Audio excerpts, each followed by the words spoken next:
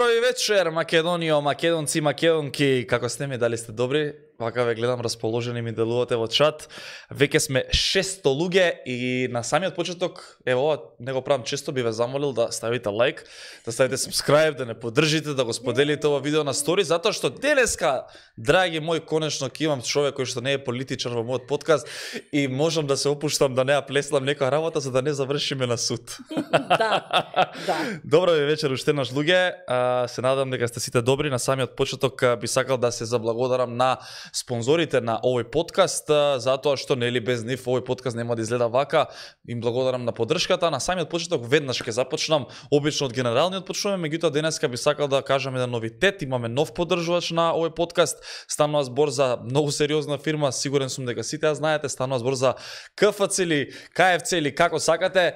Од сега па натаму ќе се јадат превкусни крцкави, пилешки, крилца, немам, ќе јадевме?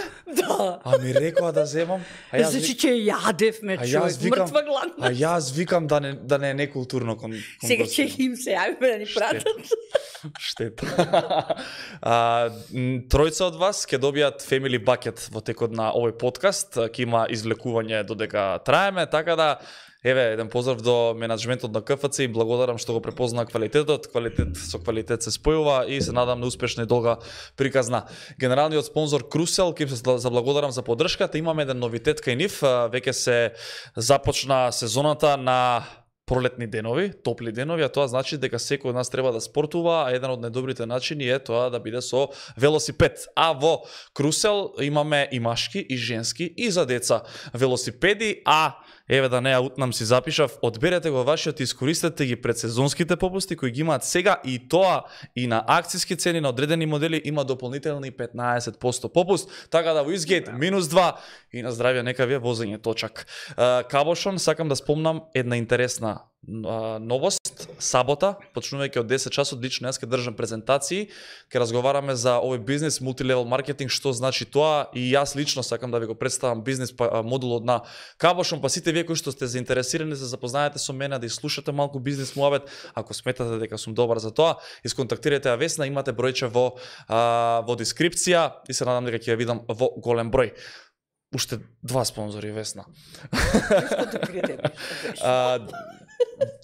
Кабочовка? Актуелно, моментално е што имаме актуелен giveaway на мојот Инстаграм профил кој што го правиме заедно со доктор Марија од Ентисимо. Доделуваме Edelweiss венири на некој од вас. Ве молам да си ги прочитате чекорите, па доколку сакате да учествувате, да си видите се таму. Излекување на 1 март. И како за крај на денешниот блог за спонзори, ќе си ги поздравам многу Автовелт кои што ни дадоа и водички да си пиеме заедно со Весна, а кога станува збор за најго, најголем избор на возила, половни, но перфектни, тоа го имате во Автовелт, autovelt.mk за да си проверите. Весна Петрушевска, добра ти вечер. Здраво. Добре дојде на мојот подкаст. Добро Многу сум среќен и горд што а, знаеш како викаат за тебе? Како? Игор Джамбазов во женска варијанта. да, дали, дали тука нешто има приближно, кажи? Па да, скоро се.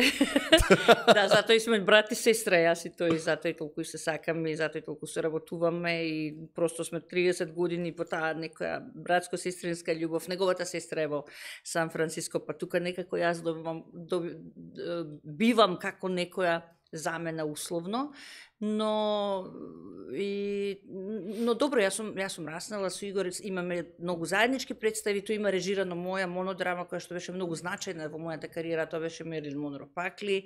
Игравме заедно сме снимале многу работи не не не здружуваат и, и се сакаме многу. А инаку Джамбазов беше тој што ти донесе те донесе до 100.000, така? Што е супер, Па, браво. Така. Он беше Го гледав јас, дел од- внимателно го гледав тогаш. Тоа беше пред концертите во Да, филхармонија. Дека така и тоа беше еден после тоа беше еден одличен концерт. Да. Игор беше дел од колачот и мислам дека од, од како дојде Игор некако се у Ти животот- тргна. Ама не само подкастот, све ми тргна животот. Шо Еве со со Марта си се преселивме, заедно си живееме. Така да, мислам дека Игор кај ќе стапне, кај ќе стапне, злато остава. Среќ ли е? Да, Златно дете, мислам златен човек. И супер е што е сега во Дојран, нели имаме Да. сега нов член во семејството Джамбазови Ферхунде, која што Не јас ја немам. Шо? Да, има куче. Стварно? Не си- Не сум видел. Па ти на Инстаграм си или си носов во Лазаров тука, значи. Инаку само да се обратам кон публиката да ви кажам дека Лазаров подкаст се наоѓа веднаш до а, поликлиника. ВФВ клиника. ВФВ, што да. ВПБ. ВФВ. Е, така. Аха, ВФВ клиника, значи не случајно тука доаѓаат на преглед кај Лазаров, па си одат, после тоа ќе си одат. А по едни стрмни скалици Не, стига тоа е тактички направено, ако некој нешто му се случи не да боже подкастот, веднаш да се рипне таму. Да. Јас сум знаеш дека сум примал инфузии пред подкасти. Да, верувам. Да. Верувам. Од, од мислам ако некој знае Стрес, колку е стрес тоа, да, ти знаеш. Да. Да, тоа е стрес, истоштеност. И затоа и ти реков, да не си брзаш за спонзорите, полека, се што треба, оти без спонзори нема шоу бизнис.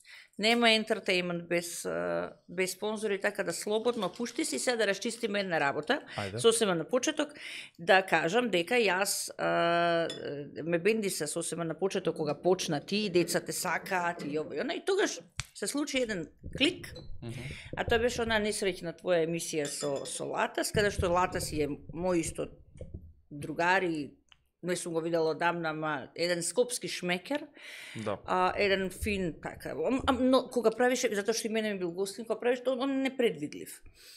И а, на она несреќна приказна, знаеш кај да беше кечот? Што ти се насмеа на тоа, а јас имам женско дете и баш згора на се е нели жртва на педофил. И мене тоа тука малку, у, знаеш, се, се, се просто се изместив. И си реков, окей, веројатно од незнаење и од недослушување, затоа што не секогаш имаме контрола кога сме пред камери, тоа се ипак за 10 години, дај Боже, сме живи и здрави, ќе правиме муабет. Да. Друго е искуството, друго е да следи. И затоа и ти кажав и кога се чувме. Секогаш, и ти си го ставил, и Джамбас ти кажа, да си ставиш едно црно каде што се оградуваш, нели, Као Да. пропратно, дека се оградуваш од секој став искажан во твојот подкаст. И тоа така си заштитен, оти, знаеш како, сега, за, они не, не тераат правни, а, правни Постапки. постапки. што се реално важни за ово општество, ама тебе те фатија на пик. И види, нема никојаш да заборавиш дека, и затоа сум јас тука вечерва, Затоа што се договоривме прво да се видиме, второ да, Да. се дружиме, трето јас имам армија на деца кои што са, те сакаат и јас не не смеам нив да ги изневерам затоа што знам дека те следат, те слушаат, тоа се твои тоа е твоја публика. И тоа е една работа. Втора работа дека ова е епоха на нови платформи и медиуми. Значи, ние никому ништо не креваме, под наводници. А, просто YouTube-от е една извонредна платформа каде што може и, и се во моментов, јас сум на подкасти. Значи Да. јас гледам во моментов 15 на подкасти редовно, од кој најомилен ми е? Howard Stern, морам да ти кажам. Не го знам. Е, тој ти е еден, еден од најстарите радиоводители, инаку музички новинар, и кај него, кога ќе дојдеш, значи кај него сите одат, имат веќе 65-6 години, Ќе ти кажам, после ќе ти пратам линк, ќе ти биде он на он инаку на Sirius, на таа радиостаница е многу, многу пари за Аха. трансфер зема, небитно да не ги замараме се твоиве твоиве гледачи. Значи, Инстаграмот е една платформа, Фейсбукот е друга, Јутјубот, Така е. Јутјубот е трета. И секоја си има своја Публика. своја публика. Е сега, знаеш како? А, не, не, не е публиката виновна што во Македонија нема програма што се продуцира. Нема ентертеймент. Што телевизиите не продуцираат своја програма, напротив, не, не влечат со турски серии и нашите пензионери заборавија азбука, затоа што е тоа лошо Да. надсинхронизирано, апсолутно, и стојам позади тоа. Јас сум единствената глумица што некој има направено, нема никош да го направам. Добро. И а, реално, значи, они немаат програма. Имаат вести, информативна, имаат турски серии, имаат дебатни, дебатни емисии, каде Да. што и на тој начин нашата публика станува заробеник на, на, на, на постојани дебати, една, една токсична средина, која што таа не е добра. Бе, затоа не... сме сега ние тука да промениме некои работи на И социјалните затоа мрежи. вие младите сега што доаѓате, може би ти звучи како фл- флоскула, но тоа е така, Мгм. вие треба да дојдете и да ја смените мапата на, на телевизија, на гледаност, затоа што види, на телевизија нели постои далеченско, можеш да смениш и овде постои штрак, не скам да ја гледам весна, така ќе ти исто, или Па не знам дали знаеш понајново дека една телевизија наша направи подкаст кој што се емитува веќе неколку дена и на YouTube. Така да работите почнуваат да се? Сител. ау, не сум знал. Ете, видиш? Ете. Така тоа, да- е, тоа е трендинг, ама така добро, да- окей, браво за нив. Значи, они го Телма тој тренд. пишуваат. Еве, значи и, и, и, и, и трендинг е, што е добро. Види, ние сме 10 шекори пред нив. Но мора види, и се извини, извини Стефан, значи мора да се забавни, мора да имаат широка насмевка. Ние, ти си дечко со широка насмевка. Да. Па, мене ми се збокти се човек да ги гледам тие тмурни ликови, тоа се нешто е со четири прста пет на чело, па мислат, па тешко, па не ми треба тоа. Значи јас кога сакам да се информирам, јас отворам портали Да. И тогаш јас ја гледам геополитичката состојба во светот. Оти ние сме еден микрокосмос, ние сме небезначајни на таа мапа, било како да се да се да се Да. свртиш, знаеш. Деца твоја генерација ни оти ни идат секојдневно ни бегаат од Македонија. Како не, како не. И се, и тоа е стажно. И тоа е сериозен проблем. Или не знам, главна програма ни се а, а, од Србија забавни програми кои што се извонредно скапи. Тоа не е за подценување како шоу бизнис. Значи тоа е фантастично направено, си има телевизиски формати, се е супер, ама тоа не е наше. Бе види, јас сум бил на таа ситуација пред неколку години и сум нудел, сум пробувал, сум сакал да направам затоа што јас доаѓам од телевизија, овие социјални мрежи и можеби најдобро нешто во животот што не ми дозволи да направам, па направи све сам на Преубаво. на оваа платформа. И велам 10 чекори сме пред нив заради тоа нивно его и недоверба на социјалните мрежи. Предпоставам дека нова генерација млади па ризикуваме и ако ризикуваш ќе добиеш. И кога си ризикуваш си храбар. Да, без Значи, не- ризик не можеш да да добиеш. Не можеш никако. Баш ме интересира што се смени за да дојдеш сега на подкастот. Предпоставам дека сум се подобрил. Да. Прво, а, затоа што мислам дека за, за не ја сега види не да ме свати погрешно но публиката која што гледа. Но мислам дека а, одамна немаш жена во твојов подкаст кој што е од друг од друг од друга провиниенција доаѓа, значи од еден друг свет, од актерството, од жена која што се бави со едукација, со педагошка работа, која што има, с, с, с, јас да речеме, све сум направила за три животи. Второ, не сум политичар, што е супер, да. а и просто а, мислам дека почна да се подготвуваш за твоите гости. Па да, како не. И тоа е најважната работа и нај, знаеш, Како не? кога после, уз- нај, највеќе кога одлучив да дојдам, прво се морам да ти кажам се консултирав со моите деца од актерска школа. Така? Што ви кажа? се Да, да идеш, јес, ќе те гледаме. И а, сите од најмали до до најголеми и тоа беше пресудно затоа што реално а, детето е искрено. Детето не може да ти излаже, а веројатно им се допаѓаат и твоите возења во кола, Така. твоите giveaway со мерцедесите. Тоа е супер, уште леле. Да ги поздравиме од Да, срце. и, да, да ги поздравиме. Секако, секако и да ги поздравиме Да. твоите спонзори и да им кажеме да уште побројни да се е и уште една работа има што сакам да ти ја кажам, а тоа е дека И се, кога почнав, затоа што сум аналитичен човек, Аха. и кога почнав да те следам, значи, онаа споредба, а, а, Лазаров а, подкаст, а, а, Бака праса од, Бака праса од Алиекспрес. Е, вака се така да се, да, така да, вака се да, да кажеме една Добро. Бака праса е најголемиот, еден од најголемите булери што јас сум ги слушнала и што сум ги видела во етер. Второ, Бака прасе се коцка онлайн. Мгм. Е, сега вие ќе кажете како бе оваа весна, ама весна, јас све сакам да знам. Значи јас многу читам, многу учам, многу следам, сакам Пратиш да сум... Све. Се знам. Не може да ме фатиш нешто што не знам. Сега не може, не, не знам Да, да, а, да. ова народњаци ви, ова турбофолкери, до толку не ги следам, ама па имам околина која што ми помага да ми... Спасен се Јановски, моја знаеш, ке ти дојда. А, не многу се бараш, од мене ќе паднам. Вече, ја знам, знам. не, не, спаса си Јановски. Ќе го прогуглам. Така мисли за бака прас. И мислам дека а, тоа негово, знаеш, тоа броење пари, затоа што го сум го гледала неколку, тоа броење пари, па не знам, отвори некој бурек джилници што направи. А има а, татко поп.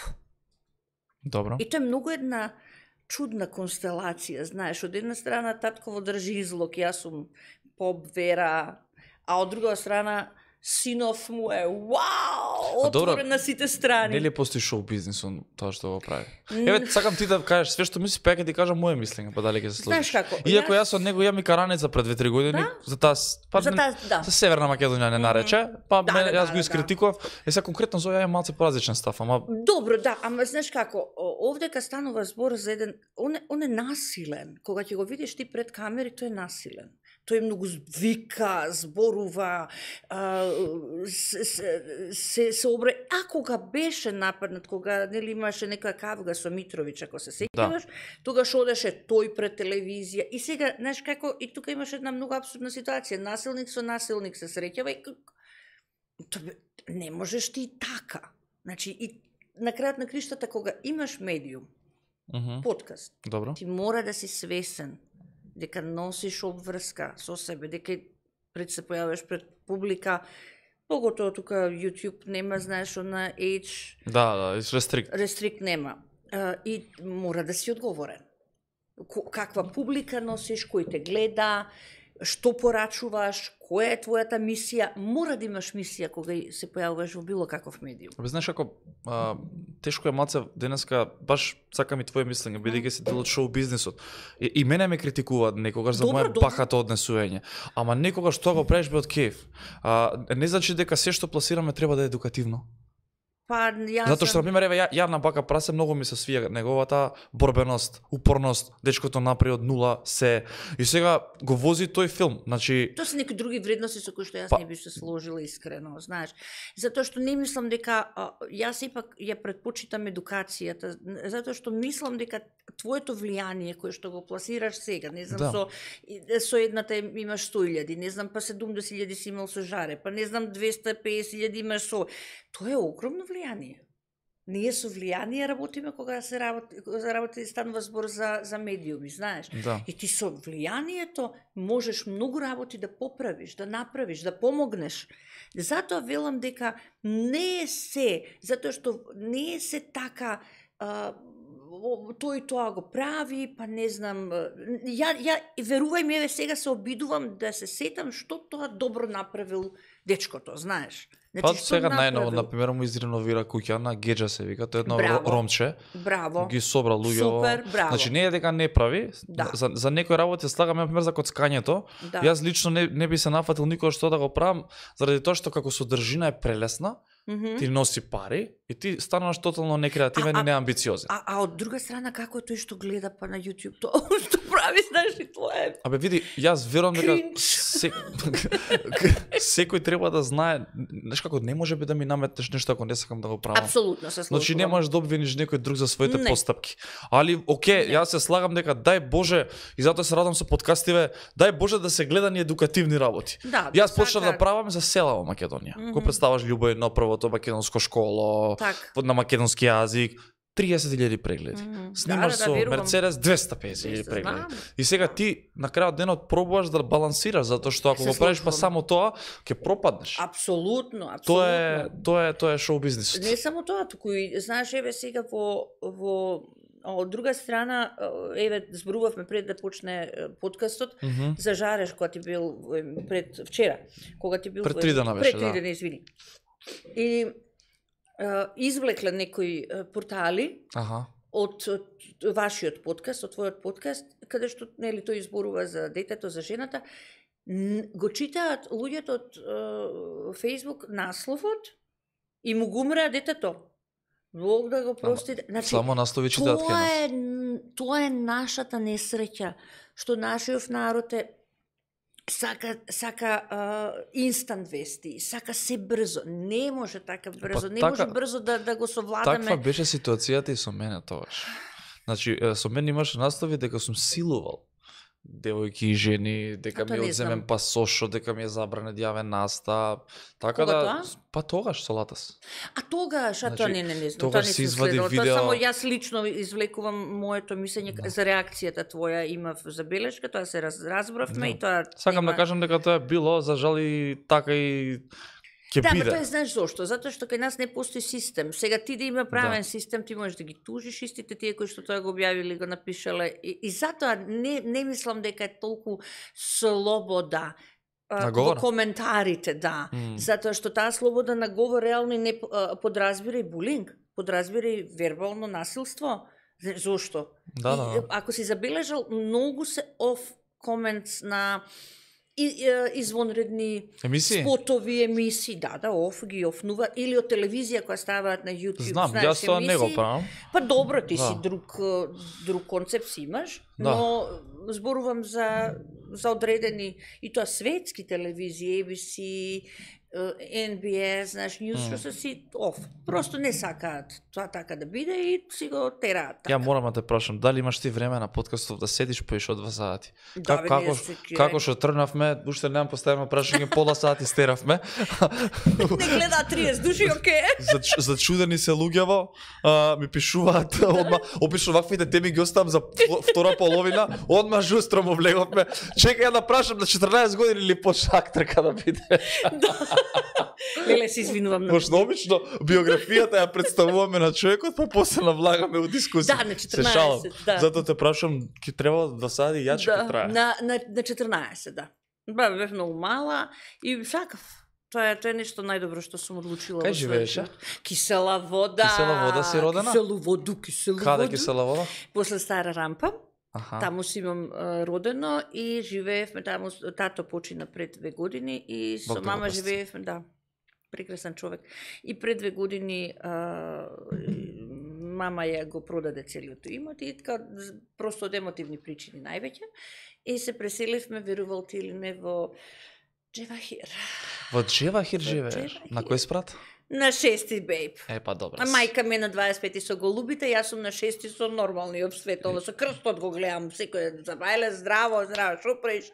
А и мислам, сакаш да икеш, како е, добро е. Јас секој сум се прашал како се качуваат луѓе од горе. Не, не има лифтови, че Јас сум бил Знаеш што- 5-6 пати, чекаш 2,5 сати. Да, катастрофа, чути. А не друго, мене, јас никого не знам освен мајка ми во зградата, но долу, директно, Мгм. имаш гаража, тоа е најдобрата ствар, идеш минус два, так, возиш и чао. И не гледам никој. по- Тоа е, тоа е најголемата привилегија таму. Ништо не знам, никого не знам. Има една продавница таму на ќошот, има аптека. Тоа е колку време сте таму? Па две години. Две години, значи се навикнуваш. Се навикнувам. Се навик... во куќа сум јас дете родено, ама окей сум, добре сум. Добре Ке збориме и за куќа Да. да. што ти изгоре, ама чекај некако редослед да фатиме. Зо, зошто актер? Зошто актерство? Зошто глума? Не знам, во тој период имаше некоја инспирација? У, како не, види, јако јас сакав прво да бидам балерина. Балерина? Ау. Па зошто да не? Сакав, да, па после тоа натерав мајка ми да ми купи виолина на 5 години, затоа што мислев дека можам и виолина да свирам, па кога видов дека мора да се го кривиш вратот, вратот и гудалото вака цело време да, да свириш, ми падна тешко, па мајка ми рече, окей, ајде, добро, свири клавир. Аха. И така продолжи во нижо музичко и заврши в клавир.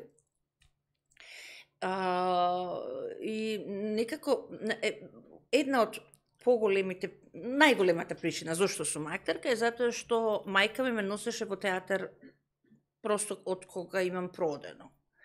Јас веќе 4,5-5 години бев редовен со мајка ми заедно со татко ми во драмски театар, Мгм. во МНТ, во опера и балет. А, и јас имав среќа да ги гледам сите. Од Петре Прличко, Анче ја гледав како млада, Мири Бошкова, Ќортошев, значи сите, си, за на крај, за кога имав некаде 35 години, играм со Мери Бошкова, со Илија Джувалековски, со со Дуле Костовски, значи играв со Идолите, плејада, да, со ти- тоа со бардови, та се Да, бардови да, на да. македонскиот народен театар. на Апсолутно. значи, најдобрата одлука што имам донесено, а секако тоа е индиректно влијание од мајка ми, е дека одлучив, просто тоа сакав да го правам, знаеш, тоа кога ќе ти кликне како мал и тоа ти е као болест, као вирус некој и сакаш, сакаш, во сакаш. некоја актерска школа или? Не, сами формиравме со мојата другарка Кате Колозова, ќерка на познатиот наш цар.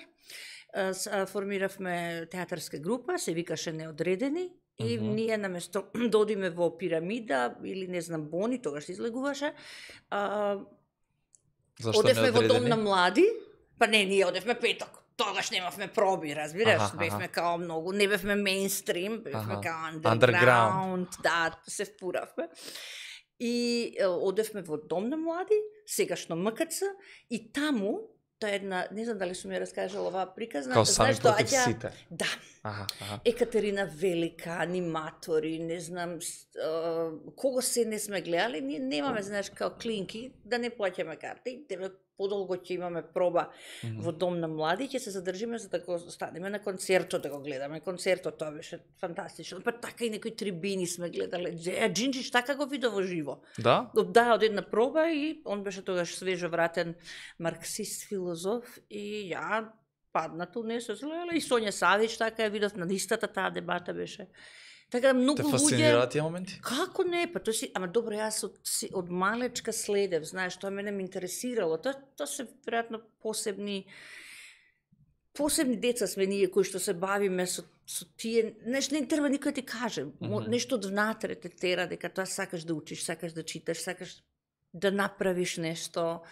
А што мислиш, во тоа време театарот имаше поголема магија од сега? О, многу поголеми проекти, многу поголеми звезди, многу подобар театар, а, многу, види, значи, како да ти кажам, јас си игра хай-фай во драмски театар и си играше камерно, јас не Стојановски прв пат на моја 12 годишна возраст го видов вака пред мене како игра. Потоа ние бевме другари со Ненат.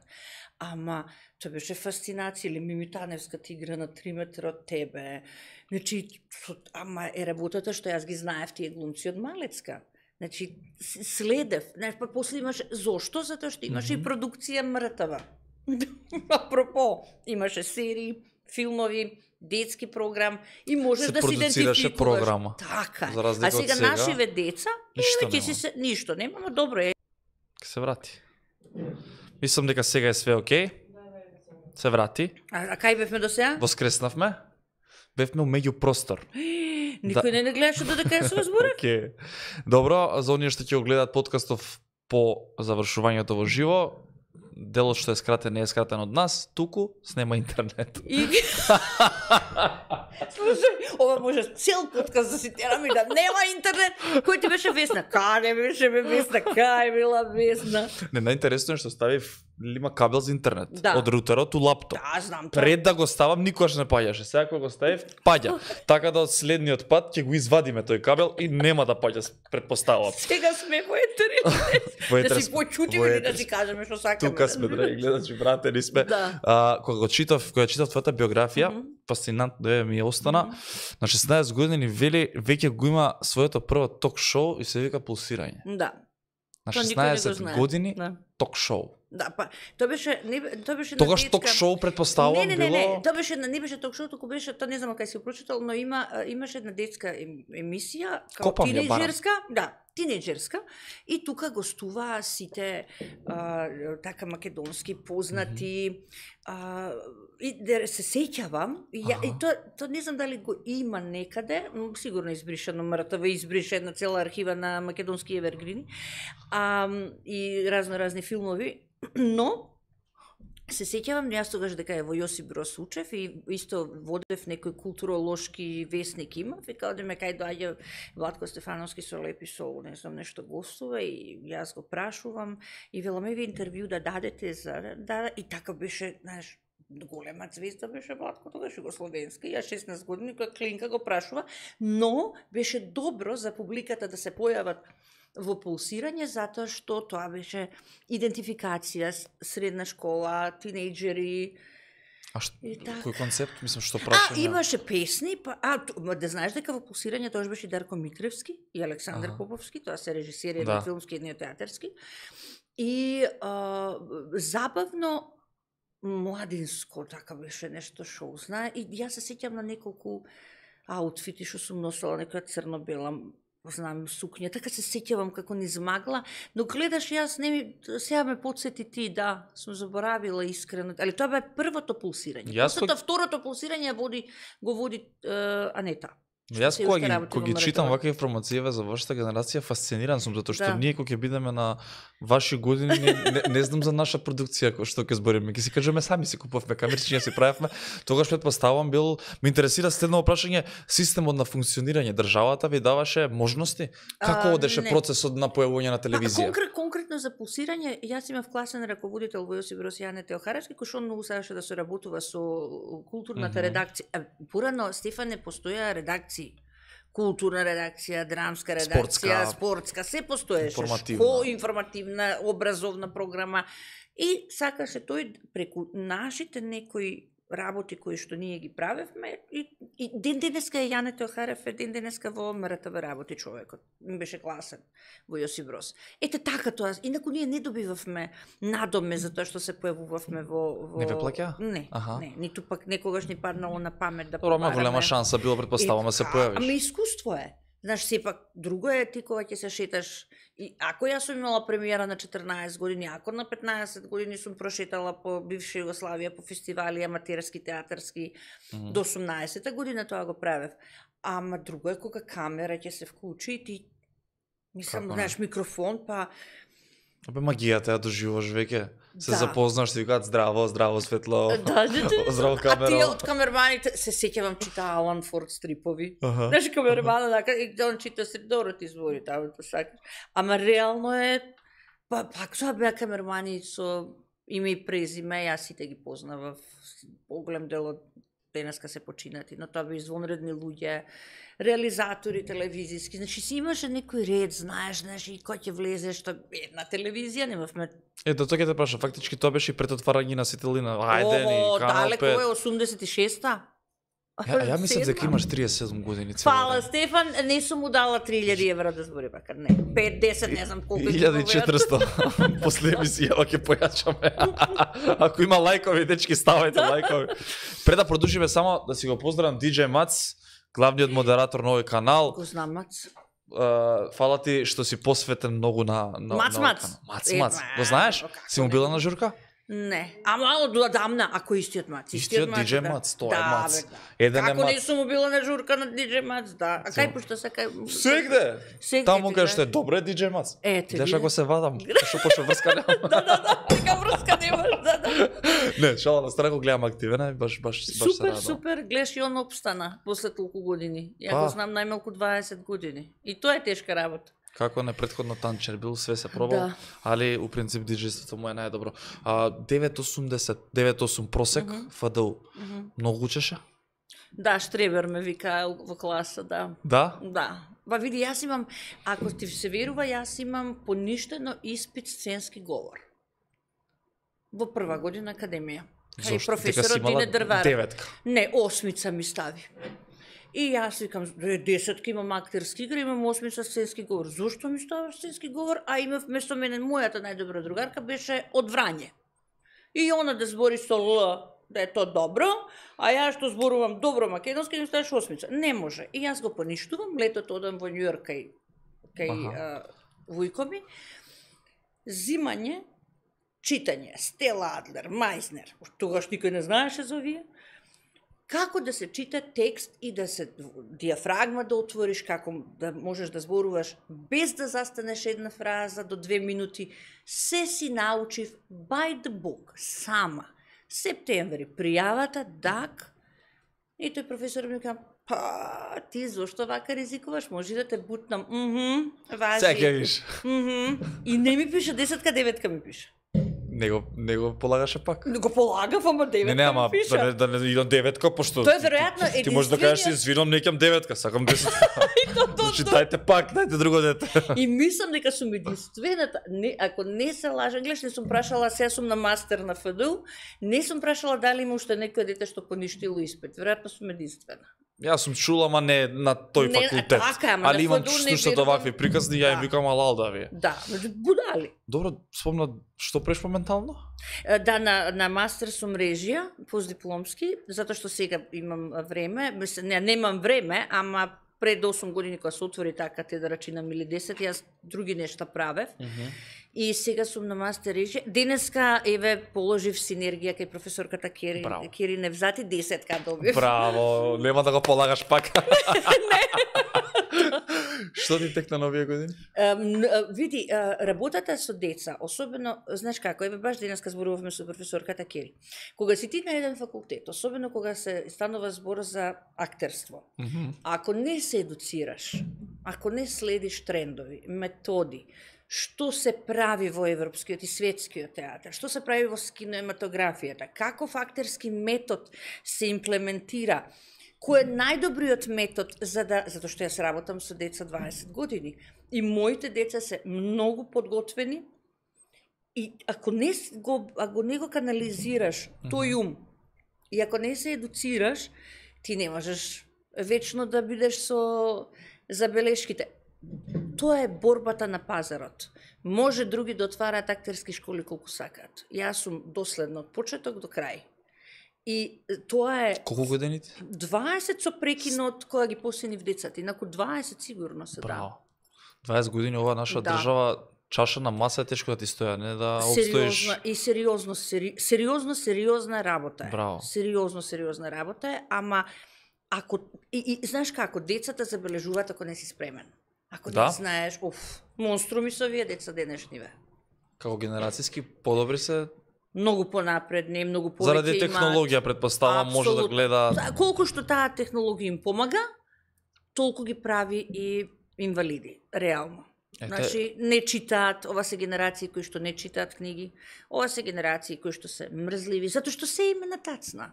А и од друга страна, знаеш, мама, тато, понежни сме, еве вклучително јас кон нашите деца, знаеш. Не се не сме ние сме на друга генерација, ние веројатно ти Да. припаѓаш на ние кај што мама исто Така те галела, те мазала.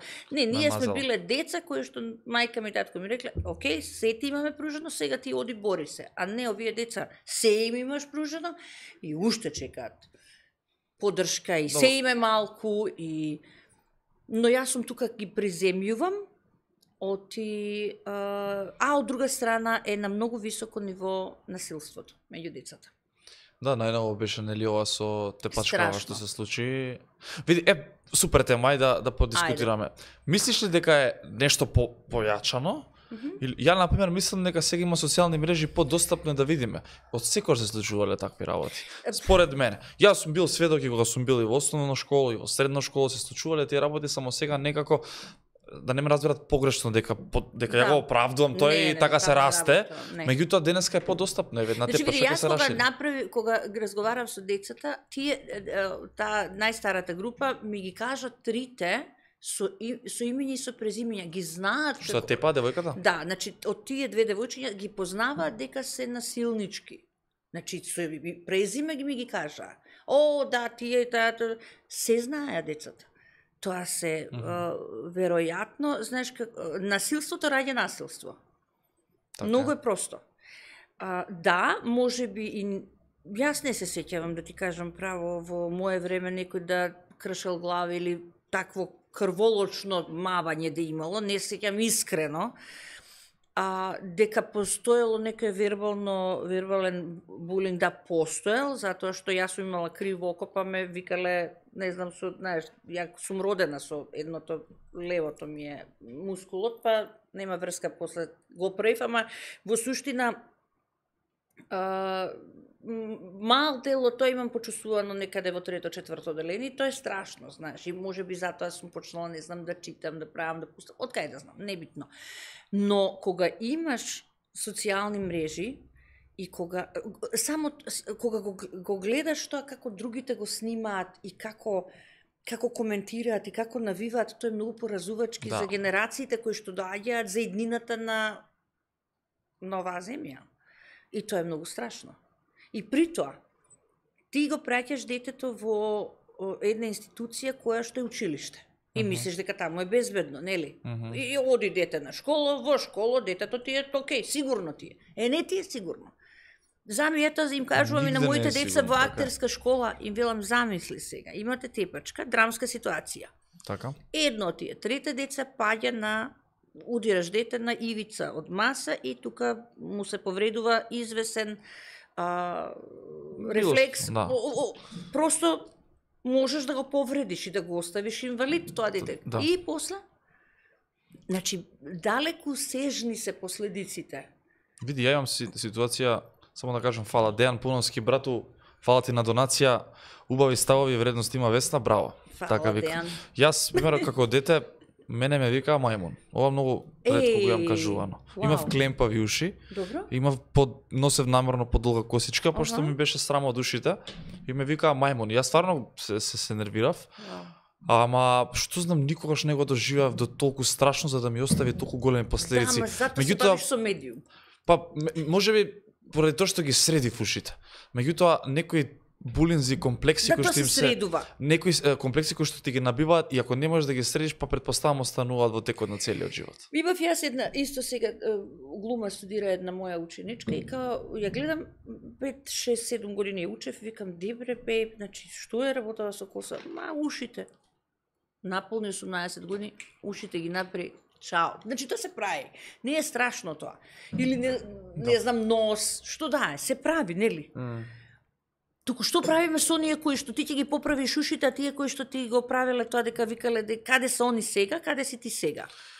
Затоа треба како јавни личности предпоставам и мене пошто ме гледаат млади да кажеме дека не се мангупи ако го прават тоа. Напротив, таквите најчесто завршуваат како најисфрустрирани луѓе во животот. И не се успешни, не среќни се. Така е. И јас дури знаеш како и кога еве ве- сега ти кога ми кажеме нели а, мајмун, Мај. знаеш што треба да ти се случи во животот за да кажеш мајмун си. Не, Мене- не, не, не, не поимливо. Или знаеш во коментарите. Uh, секогаш uh, се смеам на на коментарите, оти кажуваат нели uh, грда си, ваква си, таква си. Ти се тоа е реално.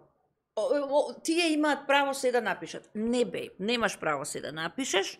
Ти си јак позадите статура, ама дојди мене кажи ми го, па дај да правиме муабет. И тоа е, знаеш, нешто кое што е, младиве генерации многу ги погодува. Не може да Како се не? одбрани дете, дете кој што се појавува да речем е мега звезда во Македонија, оди на училиште и му кажуваат девојче си, ваков си, таков си. Ја, на пример, имав многу добра школа, мене ми беше Боки 13, кај се не знам колку се сакате и почитувате. Не е битно да е Ја имам и здрав. информација дека не се сакате. Не сакам да. Ама да е жив и здрав. Меѓутоа за шоу бизнес па он мене многу ме спреми и јас се ви таа ситуација со Латос, може би бев крив, може би Мгм. не, од посекување смрт на мајка, татко, сестра, едноставно научив. И сега еве баш ме интересира твое мислење. Дали човек кога влага во овој бизнес, Мгм. нашиов, треба да е свесен и спремен кога ќе дое моментот некој да го плука.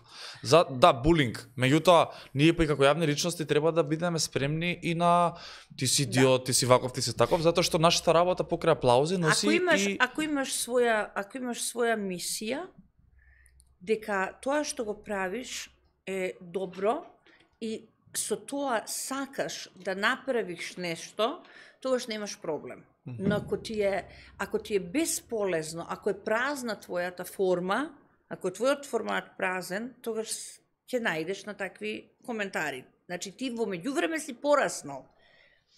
Но реално а, не мислам дека а, шоу бизнисот е само фрлање на грозни коментари и дека тоа треба ние по секоја цена да го трпиме. Апсолутно не. Ние не сме боксерска вреќа, извини. така е. Не сакам да удираат по мене, нема да им дозволам, ако на крајот на краиштата, знаеш како јас сама е, сама за сама заработувам, сама терам, сама сум издигнала две деца, така да Да, но дали треба да бидеме спремни?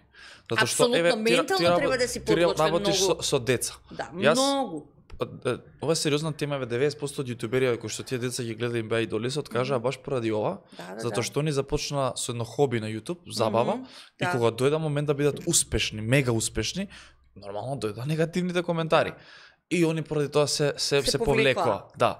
А јас тоа им кажав дека ова луѓе е бизнис. Да. Значи ова ние што го правиме уживање, да, окей, меѓутоа е бизнис. И сега како ние да им, да им, да им доловиме на тие што се бават сега со Инстаграм, а, а најчесто ги гледам искрено за мене на моменти и лигавење тоа. Значи како што се радуваш на браво, некогаш треба да прифатиш дека некој не те сака и тоа е. Ама апсолутно, не Тоа може, е. не, не, не е здраво секој да те сака. Да. Тоа не е просто ментално здраво. Не може Да. секој и не треба да те сака секој. Но а од друга страна таа Инстаграм платформата јас искрено користам само за школа, за едукација. А, реално и таа Инстаграм платформа па се претера и во тоа. Знаеш, Да. толку па. И тоа е, ама тоа е тоа е пак ќе повторам. Нова епоха, нови клинци, нова приказна, се е ново, мора да сме да ги следиме децата, не смееме да ги осудуваме. Треба само да им покажеме, знаеш како јас сум против забрани. Не можам јас да им забранам, сега гледам сите мои е, овие деца во школа се на TikTok. Супер добро. И сега има на TikTok. Ќе се подлажат, нели, липсинг имаат од разно разни некои Да, третокласни ам, пејачки или пејачи и ќе се сликаат, ќе се снимаат. Сега викам вака, не можам вас да ви забранам да користите. Но ајде викам да го провериме прво алгоритамот на TikTok. Еве јас Што правите? што правите Аха. и што мислите дека е тренд и тоа како изгледа. И им создаваме драмска ситуација и ги ставам во таа ситуација и умираат од смеење и се прво се смеат на својата глупост што направила И второ, што е можеби најважно, ги учам како да се заштитат од предатори на тие социјални мрежи, кога да го користат, кое е најдобро време за постирање, да речеме на TikTok, тоа ни фим значи, ама со забрани ништо не правиме. Што ако тоа е фашиз, фашизоидно е тоа, ај сега да забранам, Е, и да вика така е, колку поголеми забрани, толку поголем контраефект. Апсолутно, значи не можеш со забрани да се да да да да да, да Да. да хендлаш, не е тоа окей. На- Научи го ти детето, дај кажи му дека е ова ова не треба. Тој ај сега реално Фейсбукот е платформа за По повозрастни. возраст, така е, така е. А и TikTokот, кој ќе овој што е на Facebook, кој ќе го види TikTокот, бега, Да, знаеш. да. Па па убаво кажа преска поделени платформи, секој има различна публика, освен Лазаров секаде го гледаат. Да, ле ле ле ле ле ле ле ле ле браво, браво, браво, браво, браво. Морав, морав, ова беше пенал. Да те, Супер, да, ако. да те вратам 18... Врати ме ти, врати ме ос- од 18 клиника тука. Све околу клиника ми се врти. Кога веќе сме кај деца. Ти си една од ретките, Мгм. дали и единствена од јавната сцена кај нашто посвои деца. А, А, не има- уште една радиоводителка. Имаш една а, статија читав Мадона, Анджелина Джоли, Аха. не знам уште Тие сме срце. ти толку сте од цел свет. Се шалам. Знаеш како сериозна тема од аспект што а, са, не, не можам јас да кажам дали некој сака или не сака да го прави, меѓутоа како ти го доживува тој момент и, и што би препорачал еве на млади родители кои што се не знам каква била твојата ситуација. Не, ќе ти кажам, не, не, тоа за Дали си го или не си можела? Не, не, тоа е апсолутно ќе го кажам. Тоа зашто сум зборувала просто од една причина што баш денеска читав на Инстаграм американската комичерка оваа Ейми што е, зборува за ендометриоза. А ќе почнеме од таму. А, јас пред 15 години зборував отворено 17 за ендометриоза, тоа е една болест од 19 век, каде што жената по некои исклучил, исклучиви неправилности не може да роди. И тоа сада не објаснам медицински, во суштина е многу болно и јас имам оперирано два пати од ендометриоза и тоа туку што стапи во брак. И ти велат докторите, велат не може да имаш деца. Најотворено. Да, да. Значи не може, тоа е. Која е мојата ситуација? И сега замисли ти тоа кога ти доаѓа тројца врвни доктори и ти велат «Мм, може да се обидеме со инвитро, ама тешко. И ти се се обидуваш. Ова е веројатно проблем на многу млади жени кои што тоа го прават. Јас знам и жени кои што имаат правено 17 пати инвитро, што е погубно за човечкиот организам, знаеш. Мгм. И кога тоа ќе го и, и сега ти се обидуваш нам со партнерот кој што го имаш, со сопругот, и се обидуваш. И тој е трпелив, добро, важи, нема проблем, ајде еднаш, два пати. Два пати имам направено. Не. И ти се гледаш дека одиш зид, Глава од зид. не оди, кога нешто не оди, не оди. Но ако ти кажам дека јас од малечка знаев дека ќе посинам две деца, тебе нема да ти се верува. Јас од мала знаев. Како си знал? Од 5-6 годишна возраст јас сакав да посинам деца. Тоа е запишано во моите дневници, кои што ги имам водено. Значи, тоа е, просто сум сакала тоа да го направам. Знаеш како, каква судбина е тоа, неверојатно. А како го прифативте моментот дека не можеш да имаш деца? Па, знаеш како, а, јас сум јас важам за храбар човек, да, и така, го, го доживеав прилично на нозе, реков, окей, добро. Колку години имаш таш? А, 31, Мгм. а, 31, 32. И многу брзо решив дека јас баш онака разговарав со бившиот сопруг и реков, окей, дај ќе посидиме. Он беше прилично добар и расположен за тој реч, рече, окей, нема проблем. И се втурна во еден процес кој што е многу реално е многу долг, а, реално баш затоа што си име и презиме во пикот на најголемата слава го правиш тоа и популарност, баш затоа што си тоа што си ќе те проверуваат стопати повеќе, ќе ти бараат стопати повеќе, ќе те викаат на разговори стопати повеќе. Значи јас многу чесно и правно формално ја завршив таа задача. Затоа што бев над 30 години, не знам, а, ми рекоа како добро можеше тогаш нели 9 месечни бебиња, но вели подобро е а, затоа што си веќе вели повозрасна да земеш и да не се толку доенчиња. Добро велам, нема проблем. Јас не направив проблем. Мене ми, знаеш што, не одиш да идеш да купуваш чевли, па сега ти бараш кој број чевли носиш и дали ти се Така тие е. удобни или не. Така е. Отидов и ме викна од то ти се уваат од Министерство за социјала и труд и, ти, и од Центарот за социјала и ти викаат сега има братче и сестриче. Кам добро, вели мора да одиш да ги видиш. Добро, викам, ќе одам. Тие ти се понудени. Кирил и Нина. да.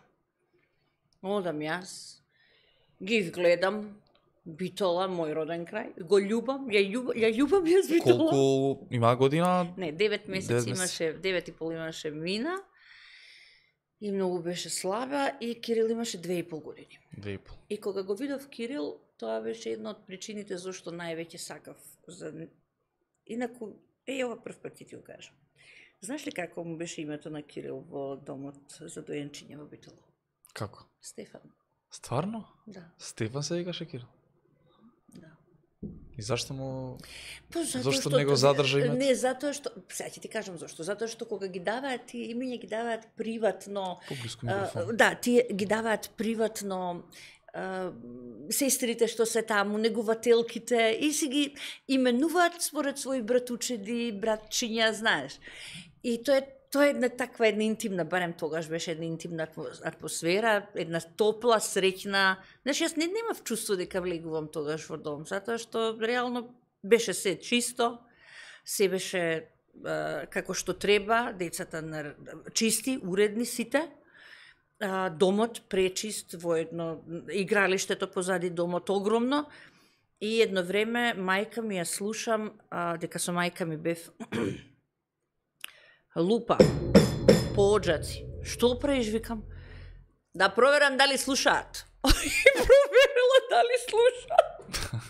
Мислам, знаеш, како тоа е толку сладко, симпатично, ама е, знаеш, Да, да. во тие моменти не знаеш како да се да се однесуваш, просто а ти а законот вели не смееш да ги делиш. Мгм. Нема дели. Треба да си го земеш и Да, оно имало заинтересирани за Кирил. машкото. Аха. Да, и тоа дознавме дека биле заинтересирани за Кирил, ама а а, рекле не може. И тие беа тие. Јас кога ги видов, тие беа мои во истиот момент.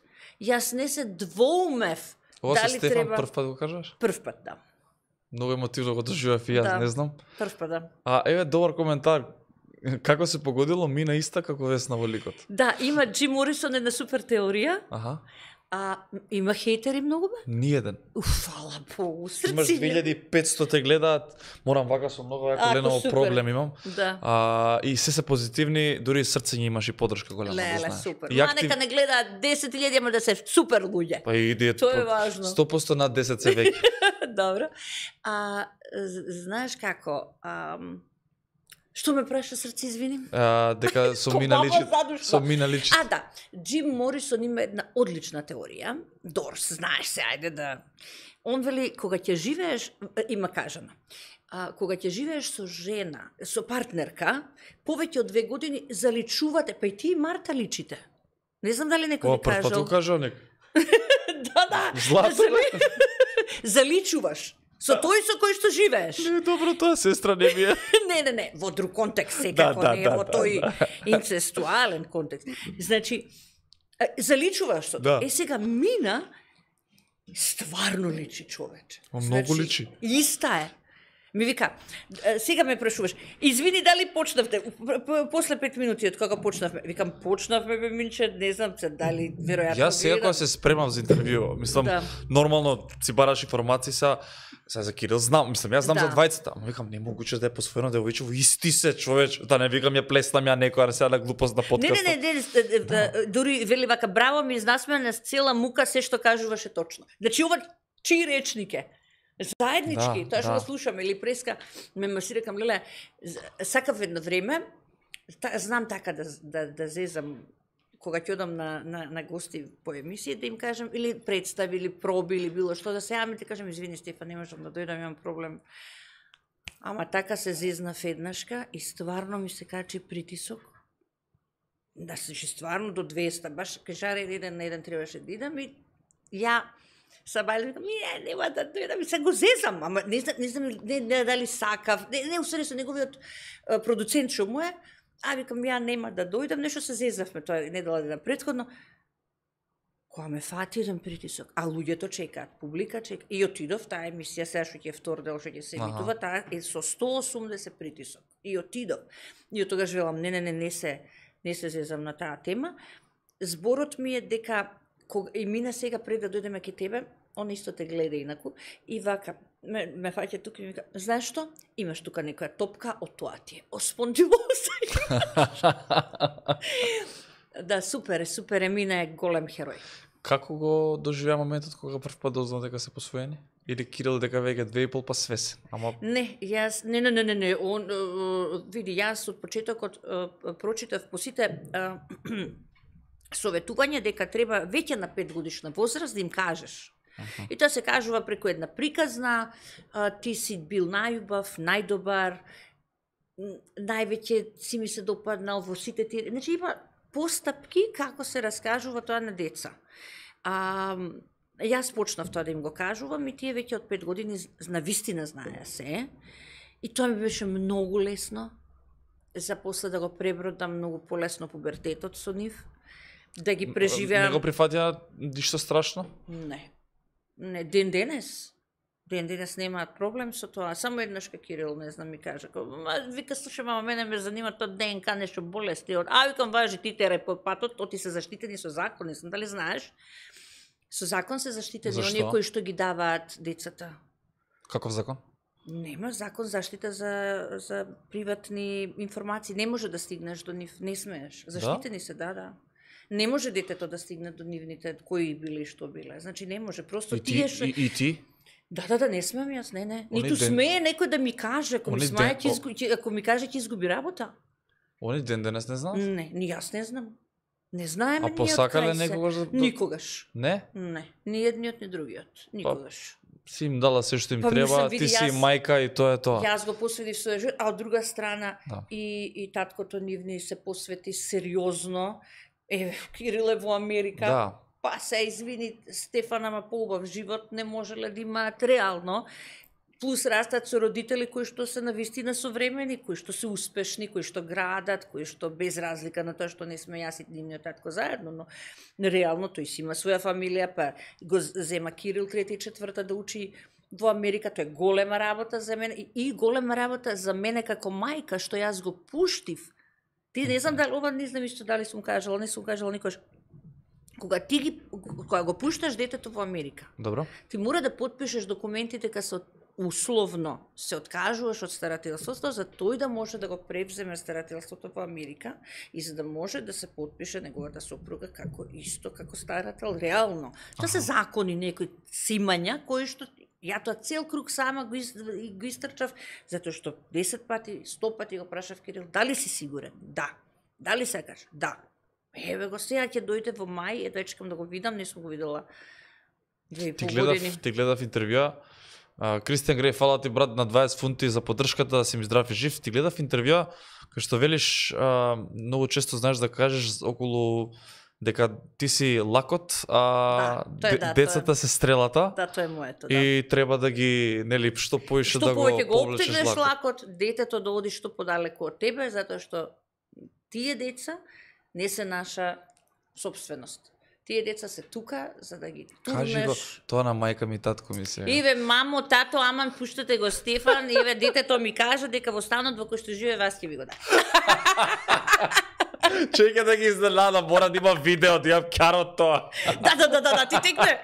Giveaway. Ако За не сум, ако не сум го снимал, не сум го дал, знаеш како оди тоа. Па и тоа ако не се сликаш, не си или не знам ако не викнеш тапан на свадба не се оженил, како тоа да се тие некои. Каков тапан имав ја на свадба. Да не е еден тапан што удира, знаеме. Како се викаше? Не ми текна. Петар. Татко ми ќе му тепа. Имав најболи тапан, правевме ние видео. 300 и нешто илјади прегледи има нашата свадба. Вика Цеце Јарка ни Стефани Марка. Јарка ми го зема од Толку сме, ние сме. Да. Ти Анджелина Джоли си гледаш- уклапа Мадона, ние сме со Цеце Јарка. Гледаш луѓето што сакаат да гледаат свадба, Па сака. разводи, болни деца, Умрени разведени, луѓе, да. Па тоа сака. Значи, како има новинарството е направило трагедија и Лошата вест е лошата добра вест. вест. Е, нај, најголема гледаност луѓе имаат на трагедии, не дај боже на некој кој умрел. Не дај Боже. Значи јас сум многу среќна, са еве тоа прв пат ќе ти го кажам, многу среќна сум што јас еве вртелешка да речеме а, сите тие што ги гледаш, јас немам архива од вртелешка, прво затоа што се запали во куќа, куќата беше мајка ми архивираше тоа се и супер, нема веза тоа така требало да биде. Значи јас немам емисии.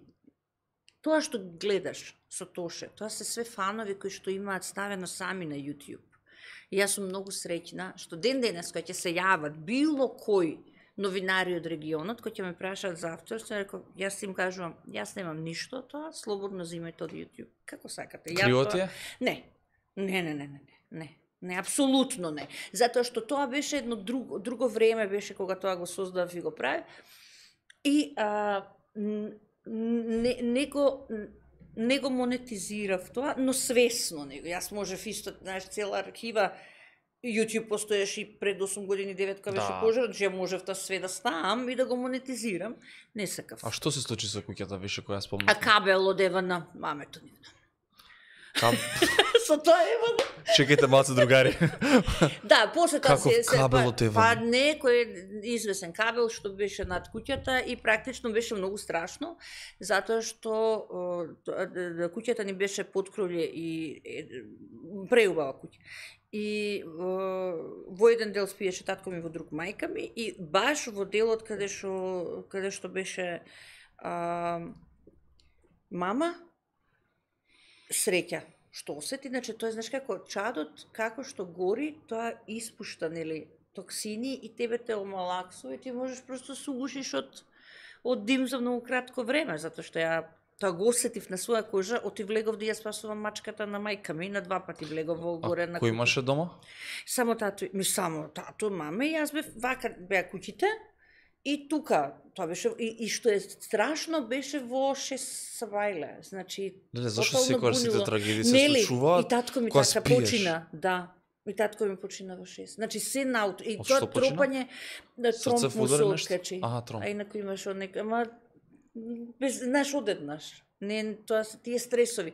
И знам мајка ми за пожарот и за татко ми на стаклото, так, так на прозорот, веки, така ме вика мама, веки станува и изгоревме. Добро прво. Вториот, веки дојди татко ти, татко ти. И тоа се такви едни трауми, М. кои што ти а, колку и да сакаш да се соочиш со со нив ти се соочуваш, сакаш да ги запамтиш тие емотивни состојби, за да не заборавиш колку е вреден животот. колку е Браво. значаен, колку е важно дека сме живи, колку е важно дека сега јас и ти разговараме. Колку е важно дека јас и ти сега комуницираме. Оти денеска е денес, Живееме утре во моментот. А многу малку луѓе веќе живеат во моментот. не знаат, не Меѓу го и јас. почитуваат. Па не, јас не, се признавам, ја тоа е, тоа цело време бркаш бркаш нешто што Сите бркаме, не, бе. не се задоволуваш. Сите бркаме, сите бркаме кредити, лизинзи, дужни сме. Ама добре, знаеш како што викаме со Джамес? Банка кредит сме дужни, на други да не сме. Знае, тоа е важно. А инаку Знае нит сме украле, не, да, нит сме украле, нит нешто, Уш сам како ти кажам. А куќата осигурана беше? Не. Дали, дали Сега го изгу- прашаме, две осигурања имам на Дали станот. го изгубивте цел имот? Да. До, до, до темал. А да не ти кажам колку уметнички слики изгореа, све, све, све отиде аут. Не знам што да кажам во моментов, Мм. али тоа човек не да може не, знаеш како не, знам, не знам што е полошо од тоа. Мислам полошо во тој момент, што губиш ако- куќа, што губиш е, вредни, мислам не вредни финансиски, туку Животот го губиш. Значи, при, губиш. животната приказна ја губиш, спомените ги губиш, кои што не можеш никако да ги надоместиш. И онаа слика со мајка ми, со татко ми во дворот беше многу страшна. Имам таа фотографија објавена во трофеј ми е во книгата. Нешто ни седат склупчени како скршени. Тоа е една таква тажна слика. се што направиле им, И не им можеш- гори пред нос. Многу беше страшно. Нема, нема збор на утеха. Знаеш, не можеш да ги утешиш. Што да ги утешиш? А ја па како веќе баратам со оган, земја и вода, се што можеше мене ми се случи во животот, се ми се случи. Да ти кажам право, ППП, не знам Мислам дека ти си единствениот гостин што доаѓа тука и ми ги спомнува следните прашања у секоја наредна реченица. Тама ми текна за вртелешка, веќе си дава приказна, тама ми текна за трофе си дава, сега колата да зборим во Вардар и се шо да те прашам следно, сакам све да те прашам. Да. Трагедии, човече. Да, да замисли, да, значи, како можеше од сите луѓе на светот мене да ми падне колата во вода? Како може човече? Како може и да се закачи кај на коце врбата, кај на коце врбата да се закачи на сред Извини Вардар? што се смеам, Не, не, да ама, се ама смееш. тоа е трагикомедија. Ме сам- И јас со цел памет, знаеш ли што прев? Трчав по колата. Ке ја патиш. Значи, ја ден денеска да ме прашаш зошто и тогаш прв пат го видов Скопје 2014. Ти тогаш зошто трчаш по колата не знаеш, за, па уште тие со брза помош има онака едно обезбедување ни згодни фраери наместени со пушките вака. Ја а колата да не сте ми ја виделе. Плиба. Он, и он ти вика, твоја е на таму е. И ја трчам уште едно зимо декември пред Свети Никола. Абе да трчаш, да трчаш. И викам, Боже Господе, зашто трчав? Зо... Не... Па добро, па да ти доаѓа махинално. Абе како може да ти Инстинкт, дојде луд човек, човече, штрафче ти фали некој да трчаш по колата, па кој ќе Па чекај, што ја причата? Сега Па прочитав фрлам за водици, а малце понапред, разбираш, шо има овие да фрлат крст, ја кола фрлим, да има за што да се борат луѓето, ни телевизор еден дават. Абе, ако е за здравје, ја кола сум фрлила. за три живота имам Имам прочитано дека дека си ја дигнала рачната, дека имаш све. Како отишла колата бе? Ја ме, ти ме не објасни ми како ја пред зид ја паркирав. Кажи ми ти на мене како Добро, на не видовте ли камери, вративте нешто таму. А сите беа исклучени камери после кога дојде ти Имаше инспекторите. непријатели тој период? Па да, судењето на педофилот на мина. А тој период е тоа. Да, одма, два дена после тоа. Аха. после пресудата. Да. Ете, Сега види. Драги гледачи, ексклузивна информација во Лазаров подкаст. Не, не, не, види, сега тоа е моја, мислам не е предпоставка, е добро, имам јас и своји извори, тоа небитно, ама, знаеш, секогаш е полесно да го свртиме тоа кон шега, оти е подобро, поздраво е, а инаку, окей, знаеш како, не многу беше смешно, Джамбас доаѓа на сред Вардар и гледам ја еден фраер со ирваси, джемпер. Само микрофонот. И го гледам. И викам, Игор, бебо, кај е проблемот? Викам, па колата. Не е проблем, ќе средиме. Со цел памет отиде, тие таму што ја дигаат колата, вака им правиш. Лево, лево, лево, лево, лево. Се десно, десно, десно, десно, десно. Хоп, падна. Ај малце од позади се пробајте. Ајде сега. Ајде, дигај, дигај, дигај, дигај, дигај. И овие, ај се ти мене тоа кажи ми како они не го слушаат шефот, него го слушаат джамбазов. Кај да го стават вилјушкарот за како да ја кредат колата. Три пати им падна. И на крај се кај Чеджа и да ми ја кај твоите кај Сашки кај Кире, знаеш како да малце да ги поседам со нив, ај баш ка се смрзнав, ти поседи тука, нека дојде полиција, не е проблем никаков, ќе завршиш работа. Доаѓа джандарот. У комбе, оние старине комбиња. Ладно дзивра, брат, јас су едни хеланки, неспремна, нефенирана со капа, не сум за папарацо толку спремна, али ми работи кликерот. Не можам јас да се кријам, не века тогаш на кеј па повеќе мобилни телефони вклучени не си видел. Сите сликаат, се смеат, как, как, как, как, как. Еве го дојде да се ситиме. На, на, ама не, оно меѓу време објавиле по вести чие колата, затоа што И вести имаше? Да, Охо. колата на познатата актерка во Вардар. Мислам, ВП. Која друга позната актерка е ВП? Не знам, весела некоја, не. Небитно. Весело. И, и најчесто поставувано прашање беше зашто бе свети колата цело време штрака со тоа фаровите стварно таа дека јапанец џук беше и сериозно на удар затоа што сега шега на страна дошле е, спасувачи мислеле дека има некој во колата. О. Да, да, да, да, и нуркачи си имаат бутнато во ладно и од Вардар да видат, тоа е Не да голем... може да имало. Да, Да. не да Боже. И вика, тоа после ми кажа. И тоа е стварно страшно. Е, сега, работата е што они се заборави, истите тие што влегле, нуркачи, полицајци, истите тие кои ме умре од смењето и просто е стварно смешно. Тебе да се погоди ба. Мене, свето мене да ме гледа. И идеме сега дома да ти докажам за ова и сега идем, идем и јас дома. А, не, Джандор доаѓа. Добро вечер. Викам добро вечер. Ваша е колата? Мхм. Лична карта? Викам неам. Каде? Викам у колата. Сообраќајна? Неам бе, викам ни сообраќајна. А возачка? Па немам. Па кај? Па викам колата. Аха. А како беше ти, како се викаше? Викам, а, Весна Петрушевска. Мхм. Кај работиш? Викам во МНТ. А, драмски. Добро. Ти си? Ау, преправена, па тебе не те познав. Ау, сега на жена ми кој ти кажам, и вака го држи прозорот отворен, а ја, те, те, те, те, те, се викам, ако може да влезам, од другата страна, ладно ми е многу, не можам да издржам. Не може ми вика. Земи ова подпише, плајва сме низ прозор со тоа да сум се подпишала на ништо, значи бланко. Ти му кажеш матичен број Аха. и на крај ми ка Ај се пријатно ја завршив ако сакаш да пријавиш ако мислиш нешто сомнително, а мора да имаш сведоци ми вика ако имаш нешто сомнително да пријавиш.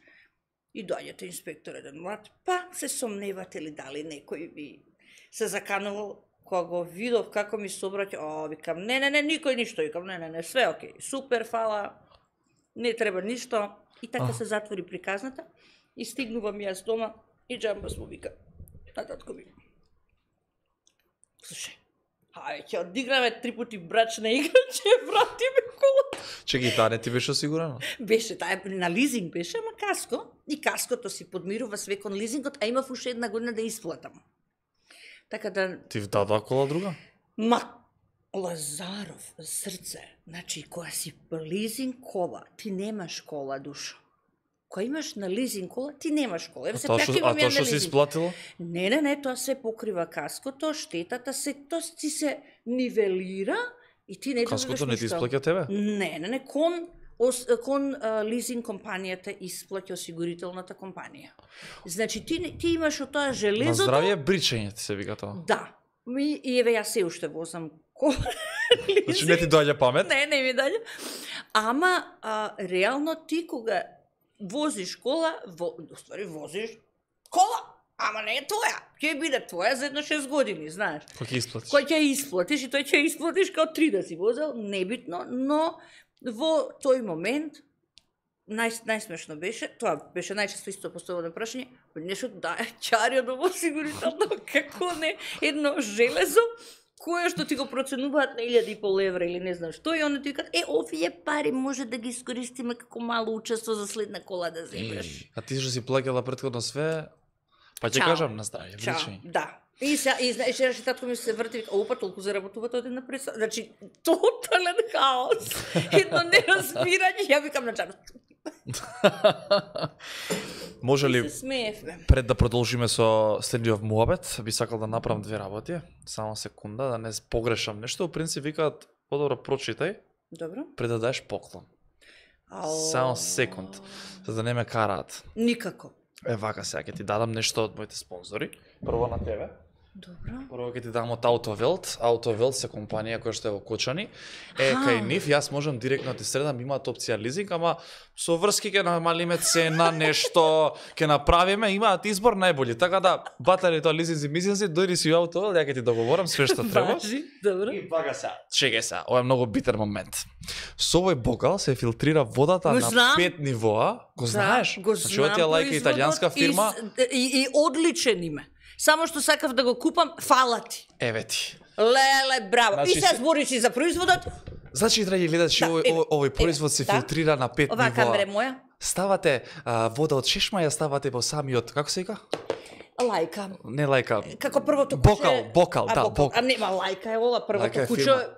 отиде на, Ете та. на Марс. Да. Кога ќе влезете во Крусел, драги гледачи, ви имате право да дознаете вистината зошто таа се филтрира во пет нивоа. Тоа се прави за да го дадете на весна, таа да прави прекрасна вода и да биде здрави и жива, но се надеваме дека овој бокал нема да и падне во вардарта. Така е, дај Боже. Благодариме, благодариме. Да ти кажам право, дури и син ми во Америка ми кажа се си правиме муабет и ми вика види види дека знаеш кој ќе отидат македонци во странство? Стај таму Да некаде. Знаеш доле. кој ќе нека се гледа.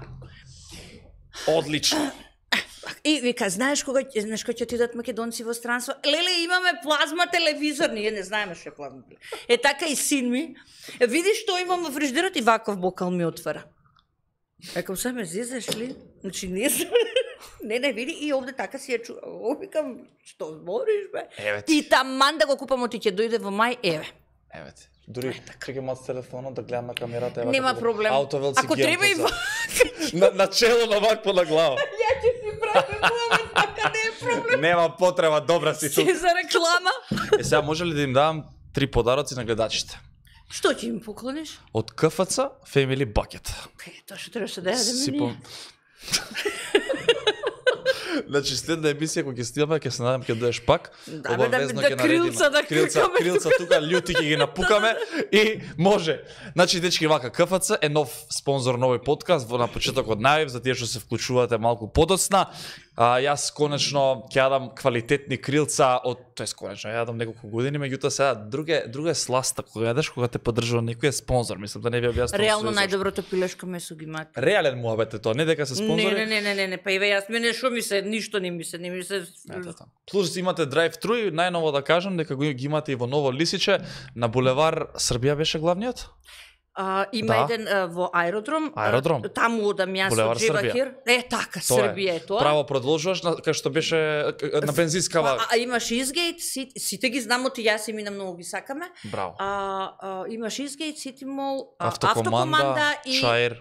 А Чаир не Па знам. тука се кај а нас. тие се а, Сакаш да одиме после? Може, фиу, фиу, фиу, има драйв-ин. Има драйв. Супер. Дечки, Е, не знае. Ајде да дадеме три, значи Family Bucket, а, ќе може да ги подигнете. Тој се купува само од KFC. Само Family Bucket, реално. Значи, стварно, тоа е најдобро. Слушаш Марта? Значи доделуваме три бе, Марта предност сучка, предност имаат мемберите на овој канал, затоа со инвестиција од 150 денари поддршка на овој канал учествувате во тоа да добивате подароци кога даваме. Така да Марта те молам да си запишеш. Тоа тоа ви се вика добивање подароци со врски. Тоа е најдобро. Еве Александра Трајановски добиваш Family Bucket корпа од КФЦ на здравје нека ти е и да си ја поделиш со некој од твоите блиски, затоа и се вика Family Bucket. Така. Еве, уште една ќе добие само секунда, Борче Трајковски, да не истиот? До толку да сум ненормален. Тама не. И третата ќе дадеме на човек кој што не е мембер, да не бидам сега лош. Греат. Да, да бидам, можеш да ми кажеш ти стоп. Јас? Да. Уф, чеке Маријана да бидам цел живот сум сакала, чеке малце. Ам... Весна дај му на човекот. Не, Натали. Натали е таа. Абе, Маријанчето златна е таа. Нога 2 метра, нога друга. Стоп! А, ч- леле, го оставив до пола. Не. Го, го- го ставив доле и си, си отидам. Пак стоп, пак да Да. кажам. Да. Леле, браво, Маријана, два пати. Ајде, бе, вака правам. Ајде, а, Стоп. Добива Владко Митрески Family Bucket од КФЦ. На здравје нека ти е Владко да си ми здрав и жив брату. На сите нека вие на здравје и сите кои што не сте биле во КФЦ, не верувам дека има таков. И, дали има таков? Да ги да ги пробате крилцата, стрипсот. Ох, И што имаше друго копаните, копаните се многу убави. Копаните се најубави. Нели? Најубави, а исто На мене така- стрипсот би се најубави. Јас ги сакам и враповите, морам да ти кажам. Така? Да, врапчињата ги сакам, врапчињата Твистер ги се сакам. вика Да, едниот. Твистер, Junior Твистер. и Твистер. Абе, цело ме нема. Срамота. Ќе рече това домаќинка е готвили нешто? После подкастов спонзорство за тебе Кимот. не се сегувам, Да се јава. не, јавна работа. И баш кога знаеш кога се враќам да речеме подоцна од часови, таму пред да одам дома, купувам Ајде ти кажам, искрено и кучињата ми ги сакаат многу, така да Ако, ако. Мислам, сега се извинувам, ама јас кучињата ги третирам како луѓе, без навреда. Па и треба, мислам. Да. Сакам малку да направиме овој сега за вртелешка. Повелеле. Па верувам дека а, секој очекува да те прашам за последното интервју за Тоше, меѓутоа, окей, секако дека ќе те прашам, меѓутоа мене ме интересира како започна вртелешка, колку сезони се емитуваше. Баш целата прика за вртелешка, за вртелешка ме Јас играв, ме примија во театар и мојот професор ја поставуваше кројар за дами, еден, еден водвил. А, и мојот лик се викаше Роза Вртелешка. Фейдо, кралот на водвилите, францускиот театарски драматург, напишал лик, тука го имаат преведено, ќе простите, не знам кој, го, кој чиј е преводот, но а мислам нека има вмешано прсти мојот професор покоен Бог да го прости Рули Османли. Мојот лик се викаше Роза Вртелешка.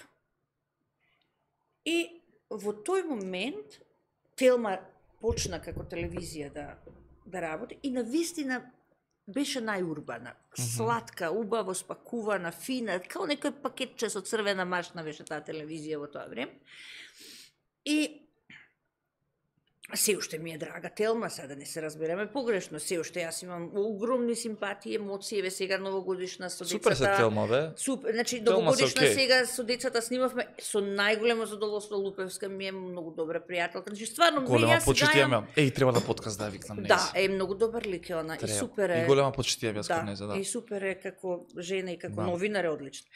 И имам огромни, знаеш како кога ќе влезам во телмо, абе се ми се враќа, ми се враќа тоа, но ми се враќа ентузијазмот кој што сум го имала, оти во тоа време, јас се Јагода Михайловска Георгиевска беше а, уредник Мгм. тогаш во таа телевизија, извонреден човек, писател се, жена, фантастичен лик. И јас од цел памет отидов, дека јас, нели, глумица, па јас имам една идеја, и тогаш беше синот на Рули Османли, Томислав Османли во таа телевизија, и вика, да, повели, е, велам, па треба, немате ток шоу, шо, Джамбас имаше прв. Викам, да, една жена, добро, и јагото ми вика, окей, имаш една недела да смислиш како треба да се вика емисијата. Проби во театар, јакам, вртелешка. Што убаво. Вртелешка. И одам кај јагото и велам вртелешка. Таа вели, Кликна. супер ми се свиѓа. И почнуваме да ја правиме. Ајде, и сериозно Јагода седна со мене и ми помогни за концептот, знаеш, затоа што види, ние сме сите родени учени, Мгм. Ник, сите мора да признаеме дека некој нешто не подучил на почетокот, па потоа ние дали ќе надоградиме или не, тоа е наш проблем. И ја го да ми седна, ми кажа, и вика, добро, мора да ти се на Г. Викам, зашто на Г? Па вика, мало е студиото и две камери мора да се. И утринската што се емитува на Телма е во тоа студио Вртелешка е родена. Ден денеска? Да. Во тоа Па ако студио ќе влезеш утринската. по ходниците, по деса страна му да. Н- А во големото студио се вестите. Аха. Значи во од бифето лево па десно се вестите. Е. А ова е од надворешната страна некако Да, влегуваш да, во тоа да.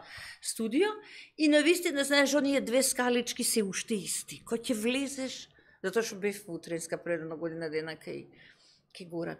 И сега ги гледаш зидовите, само што се врте режијата е тука, стаклото е тука, знае. Значи, а при тоа кога почнував немаше стакло во режија, туку се разбиравме преку камерманите. И сега во живо одиш и камерманот ти ти шеп... слушалка не, не, не, не, немав јас. Фантастично требаше да бидеш снаодлив за да преживееш во живо вртелешка. И, ама јас тогаш во таа прва сезона, ако ми веруваш, продефилира сите важни ликови кои што тогаш беа важни за Македонија. Значи сите, не знам, доктор, политичар, Тоше беше прв, и ја мислам дека тоа беше една од првите емисии, никогаш не ја заборави. И со па после тоа јас им реков, оке, ај се малку да смениме, може ли малку терен да работам? Може, па терен. Па не знам дали сте си мал. Е, во еден дел од вртелешка имаш и Тијана дел. Стварно? Да, терен работеше Давчевич? она. Да, да, да, да, да. Имаш и таа за дел, да, да, да. Гледа како се викаше тој делот што го работевме теренски сум заборавила. Така да многу работи се случуваат. Значи ти си тогаш- првата во Македонија која што направила како... Женско. да, апсолутно. Да. Многу беше гледано? Да. И види, после тоа го раснев брендот и после бирав кај сакам. Јас сите телевизии ги поминав. На еден беше? Да. И бев. на еден? И на еден. Колку сезони траеш? Сител, 10. 10 сезони? Да, и на Канал Браво. 5. Која сезона е тоа последните на Тош? Што тош? Десетата. После тоа направив уште еден трибют за Тош и тоа беше крај. Чеки ти прекина заради Тош? Да. Да, тоа е единствената причина поради која што и ден денеска не сакам да се бавам со овој формат. и го оставам светот на младите за ток шоу. Ако ја вратам вртелешка, тоа веројатно ќе биде една огромна причина а, која што е еднаква на пари.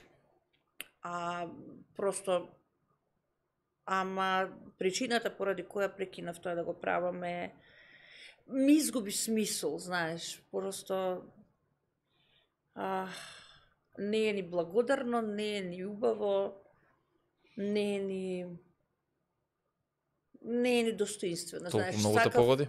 да многу, сакав витешки да ја, напуштам. Иако бев на пикот, се ми, знаеш, јас после тоа можев многу да монетизирам, да да го просто да го уновчам тоа да ја направам документарција.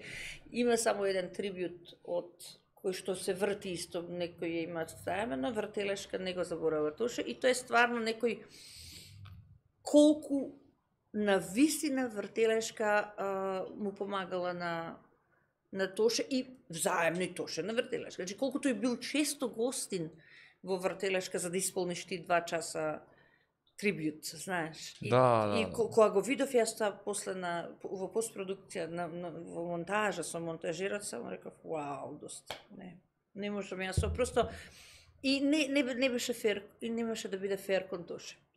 Бил еве ја толку години 17-та врвиме кој што би рекла мајка му.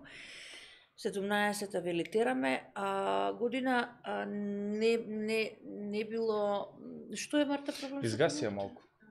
Да се Малку. заморила. Не имаме трет подкаст проблем, загрева камерата. Да, Изгаси ја малку. Да. Што да и правам? да, значи Среќа го не- имаме овој кадар прекрасен. Да, тоа е тоталот? Па тоа е. Да, тоа е. Тоа козинат баш твојата. Што видам. не би било не би било фер. Знаеш, немаше да биде фер и кон тоа што ја таа етичка мерка е сепак се уште ја имам во умот. А каков период беше тоа, мислам од аспект на медиуми? е, Најдобар, најплоден. Не мислам кон тебе имаше нешто негативно? Не. Не, напротив. Ме бара Хрвати, Срби, сите. Јас бев прилично достинствена, знам за Нова ТВ, таа на Хрватска дадов изјава и толку после нека 6-7 години дојдов некој документарец снима и од тогаш не, не сакам да давам изјави. Баш сега имаше нели уште еден документарец ме бара и за тој не не прифатив. Просто им реков не сакам. Едино на што прифатив е една консултација која што најверојатно ќе има тоа не можам да кажам и не смеам веројатно да кажам нешто за Тоше, па нешто разговаравме со еден режисер. Значи, а, не не не не е достоинствено да го после тоа да А Знаеш- ти се чувствувала дека ќе добиваш на негов грб? не јас, туку публиката на прва топка знаеш тоа гледањето ќе биде чек и, и не е пријатно. Повеќе таа атмосфера што беше таму, тоа не беше не ми беше повеќе природно да Добро, ама што си ти крива за да ти Не, не сум прекине? јас ништо, не сум ништо. 10 апсолутно. години си градила нешто, Да, јас ама- верувам дека и Тоше да бил жив, ќе ти кажал дали си нормално тоа што го Не, а, да беше жив ќе продолжеше секако вртелешка па но тоа тоа дете се уште многу ми значи, ќе ми значи додека умрам веројатно, така да тоа тоа беше една една многу специфична врска, една еден едно ед- еден однос кој што многу сум благодарна што сум го имала по во животот баш него и баш во тоа време. Така да тоа беше еден еден момент А инаку да, тоа беше најубавите години беа тие, знаеш, јас mm. и пак спо, по протокол ме викна од влада на РМ да држам говор на неговиот погреб. Тоа е неблагодарно многу, но Отиде? со како не одржав говор, тоа тоа тоа аплаузот што го слушаш, Аха, јас им кажувам дека тој заслужува аплауз и дека треба да го добие. Како се издржала во такво? Многу страшно. Тоа Не да- па ја ќе пат. Мислам дека мислам дека тука беше некаде Александар Митевски, така се сеќавам како ни измагал, па ме придржа едно време, ба грозно. Барат некоја анекдота, една позитивно со Тош. Нешто, може би има нешто не си кажала до сега за него, постои такво нешто? Па има, има, има многу работи кои што не сум ги кажала. Само секунда, што, што се мислам, извините, прекинувам, ама лабави сме. Да, извади оваа камера, стави ја таа, бидејќи повеќе у кадар би била ти, отколку да ја чекам да, да одгрее, а секако не планирам да завршиме за 15 минути. Добро срце. а, знаеш како? А, ам, тоа што беше што беше голем големо швалериште. Швалериште? Но па беше шмекер. Па швалериште? го сака жени. Добро. Па ти мислиш дека тоа дете как како ќе ја создадеш ти таа цела митологија околу себе ако не ко- кокетираш со жени ако не го правиш тоа постојано, нели? Ти а башка беше убав, згоден, преубав, најубав. Најшармантен, па имаш една широка насмевка. Многу често сакавме да разговараме за а, тоа што правел за време на турнеи, како се однесувал, која му пришла, како му пришла, која му е сега. Па често знаеше да ми прати порака, не знам сега, сум во Хрватска, во Сплит, сум со Да. една си просто та, не, немам појма кои се. Ама сакаше да ми каже, знаеш, так, таков беше сака. Не, не да се пофали, него просто так тоа му беше, што знам, нека, нека навика. Ова сте имаше- биле блиски, Да. се чувствува со Он дури, он е можеби единствениот кој што а, се јавуваше на, на мобилен телефон и ми свиреше на клавир. И ми пееше. Значи, тоа беа некои моменти кои што не можеш да ги заборавиш. Или не знам, ќе дојде со албум од од Хрватска или од Србија или од Босна и Херцеговина, като што снимаше на сите, во сите три држави, снимаше со разни музичари, Мгм. И ајде да слушнеш сега ти ова. И во кола ми пушташе. Тој тоа му беше навика. Ај во кола. И сега ти се смрзнуеш надвор и слушаш. Слушај, слушај се ова, слушај се ова. Добро. Мислам, што да му кажеш, пее како ангел, не можеш мана да му најдеш. Оно телефонски именик знаеше да отпее песна, знаеш. Мислам, Талент, човече, тие таков талент песни не се кои што пак. реално, знаеш, ги слушаме сега од оваа временска дистанца, тие немаше никогаш да бидат хитови ако не ги отпееше тој. Така, а имаше една, една харизма, едно. И многу беше мил.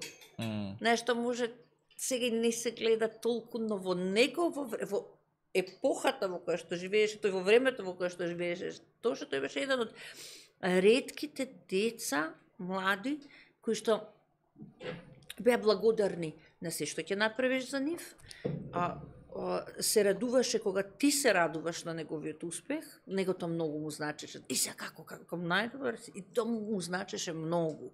Затоа што сепак не заборавај дека он пееше во време кога уште повеќе влијаеше тоа на југословенското, знаеш, на некоја бивша држава, остатоци, разно разни И има една работа која што кога го промовираше албумот првиот после Евровизија, он секогаш издаваше две версии, нели еднаш една На српски, една на македонски. Да. Те молам ако сакаш да им се извиниш на публиката да не ми се налута дека на српски исто сум издал албум. Значи толку беше внимателен. Значи толку и тоа се, се сеќавам беше во, во на пауза на концертот на Здравко Чолич Мгм. и пред да излезе, нема никој да заборавам, викам, и јас го најавив како доктор Тодор Проески, дека има издадени 17.000 публика. Вау! И дури ден денеска тврдам дека на тој концерт на Здравко Чолич на стадионот многу повеќе деца дојдоа поради Тоше Проески. Да? Да. Тоа ти тврдам дека беше така, А, а, а што реално, б- откако, после тоа он направи концерт со откако почина да доживеа реалната слава, или додека беше жив? Не, Ама тој ја имаше својата... Не, тој ја Браво имаше... бе Марта, бе, Леле, си. Марта, еј. Го прели, дај пушти ме да ме видат мене. Чекај, да, дај пофале теа Марта. Добар ли сум, многу сум бел. Абе битно ме гледаат, бај, да малце икона, посветла камера. Ај сите да наплоу за Марта ја спаси работала у, у, у коментари. Ке ти покачи ме плата. Да. Ке ти пока. Замислете дечки Марта се научи од звук до камера до стрела, све разбира. Алал да е. Браво, Марта, Жена за сва времена. Да, стварно сум посветол. Да сме здрави и живи, тоа е најбитно. да. и ти прекинав. Мислам, не, не, мислам дека дека беше свесен, особено последниот период, дека конечно го направи албумот што тој го посакуваше, со саунд кој што тој сакаше, со текстови кои што тој ги сакаше. Неш, најголемиот комплимент му беше а, за а, од последниот албум а, за една песна Леле, с- и си Игри без граници. Не, не, не, албумот е така, туку што најмила моја. За најмила моја кам, ова е така стинговска ствар. Леле кажи, а? Нели? Нели? Викам. И ден денес мислам дека е Знаеш, кога ја слушам најмила моја е скроз стинговска. А многу го, но многу го сакаше Стинг. Аха. Е, он сакаше се што е добро, он сакаше и многу, мислам, и сакаше и рок н рол се, ама реално и постојано слушаше. Постојано MP3-ката му беше вклучена и носто слушаше разни музики. Он не пееше само кога спиеше. Само тогаш не пееше. Жално, секојаш кога се збори за тоа, знаеш, колку и да пробаш да си Да. позитивен и среќен, едноставно Види, јас Ја имам знам... чувство дека да беше жив, многу македонски јавни личности ќе успеа многу повеќе. Еве меѓу нив си и ти сигурно. Мислам самата сцена ќе растеше човекот имаше мок. Педна Каролина Гочева тогаш почна почнуваше да. Да. се пројава Србија, Ирена Ристевска, Така Врчак, е, тоа време, така нели? Така е. Откако тој почина некако А се знаеш што замре. ми се случи пред да дојдам кај тебе? Читам 15 години сладкаристика. Знаеш кај кого кој знаеш ли кој прв го подржа сладка? Ја. Да? Дојде со едно ранче во вртелешка и вели јас имам трема од јавен настап, а јас го најдов, ги слушав на YouTube, имаше е, пуштено демо и многу ми се допадна стихо, текст, стиховите. Остаме да пишувам тој период. Тој период, пр... underground, скроз, тој Уште не беше доле. шоп шопинг. Не, не, Тоа е не. Тоа е, у, тоа е далеку подоцна е тоа. И јас го наоѓам и му велам, слушај, ти да дојдеш, мене ова многу ми се допаѓа. Таков, значи многу сум имала од секогаш, и затоа и работам веројатно и со млади таленти, затоа и сум одличен кастинг директор, затоа зна- и се, сакам да, се Да. бавам со режија и и велам ти фантастичен да знаеш дека само е прашање на време кога ќе бидеш мейнстрим. Кој више го спомна и да кажеме на 15 Е, а тоа прочитав дека 15 години. Да. Чекај, Е, не е сега- 15, кој марте сабота? Не, не знам, ама е 15 од- години да. од како прв пат се, од, од албумот Сладкаристика. Така? 16 март прави 15 години Ет. од албумот и ќе пее ретро песни, он ми гостува на 11 на подкастов. Значи да го поздравиш Обавезно, многу. обавезно. И тоа не првиот и дојде слаб со кратко плаво кусиче, сладок присладок, со едно ранче и доаѓа во вртелешка седи, и кажам ајде са седни, опушти се и се ме послуша. Како да работи на говорот, како да се ослободи. И еве го сега растура. Знаеш дека сакам него. знаеш дека Сладкар е. Мислам ова го имам кажано на неколку вакви снимања, Мгм. единствениот човек што мислам ми се еден од ретките што ми се јави кога се случи Латас, саат и пол правеа Да, муабет на срце. телефон.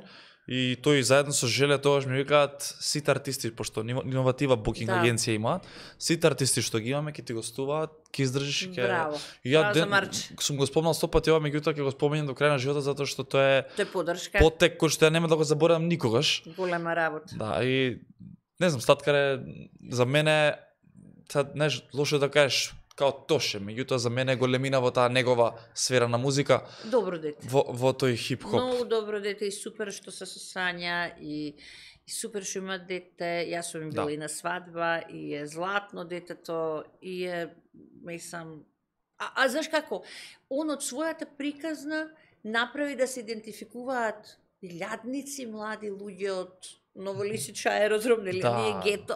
Па јас сум од таму. Од таму си, да? Од Новолисиче сум. А, Новолисиче. Таму изра-. Таму израсна со Да? пука козметика, тоа Е, е, која така беа. е, пука голела и Тоа беше движење. Да, знам се, сеќавам како не. Е, Со па, токсикологија. со токсиколог, ама Единствена опција предходно. Ама какви му беа тие првите, знам, не, и дури и клипот на YouTube, мислам дека се уште постои, знаеш, као има само е, лириксот го има Аха. и екранот стои. Јас сум го слушал, кам, кој е ова дете, каде живе и го најдов? А не ви смеел, сметало пцуењето? Не, Зашто за него има причина тогаш многу пцуел, многу бил таков во песните. супер, држи ми излог, леле, супер, сега не знам, ние, пцу- ама ние не пцуеме вака, како не, па ние сме народ што многу пцуеме. Реално. А реално. Реално е така. Имаше што- прашање преска каков однос си сега со Тијана Дапчевич? А сум била во лош однос? Па не се прашувам. Така пише, еве темата да ги вклучиме. Бре, не, јас сум исто сватица на тие. Стварно? Мгм. Чекај, стои, леле, Дејан Треговски, брату, Колку да здрав, жив, стотче, фрли. Фала, Дејан не ти е прв пат, брат. Дај Боже Браво. Господ да ти дава пута пет, за барем една петина да даваш на подкастов, да расте организацијата, кој што вика баба ми, затоа што Весна е бејби. Срцка. Весна биди пута два бејби. Дај Боже! Да. Слушај, дај Боже. Дејан, фала ти и фала ви на Да. сите што го поддржувате на ваков начин овој подкаст. Еве, ако Да, заг- ова се разликува овој подкаст, морам да ти кажам од сите останати до сега што ти биле, затоа што и се внимава и на јазикот и на тоа нели се договоривме, нема пушење, има кафенце, што е супер, Кабошов супер. Та не сакаш прекрасно. уште едно од Не, кавош. фала ако сакаш да ти паднам тука да се несвестам со притисок или пијам апчиња. Да. Ке ми сте истори. Сакаш водичка, дај Не Марта. фала бе, не, Не, треба, еве има уште седни. малце. Го спаси подкастов.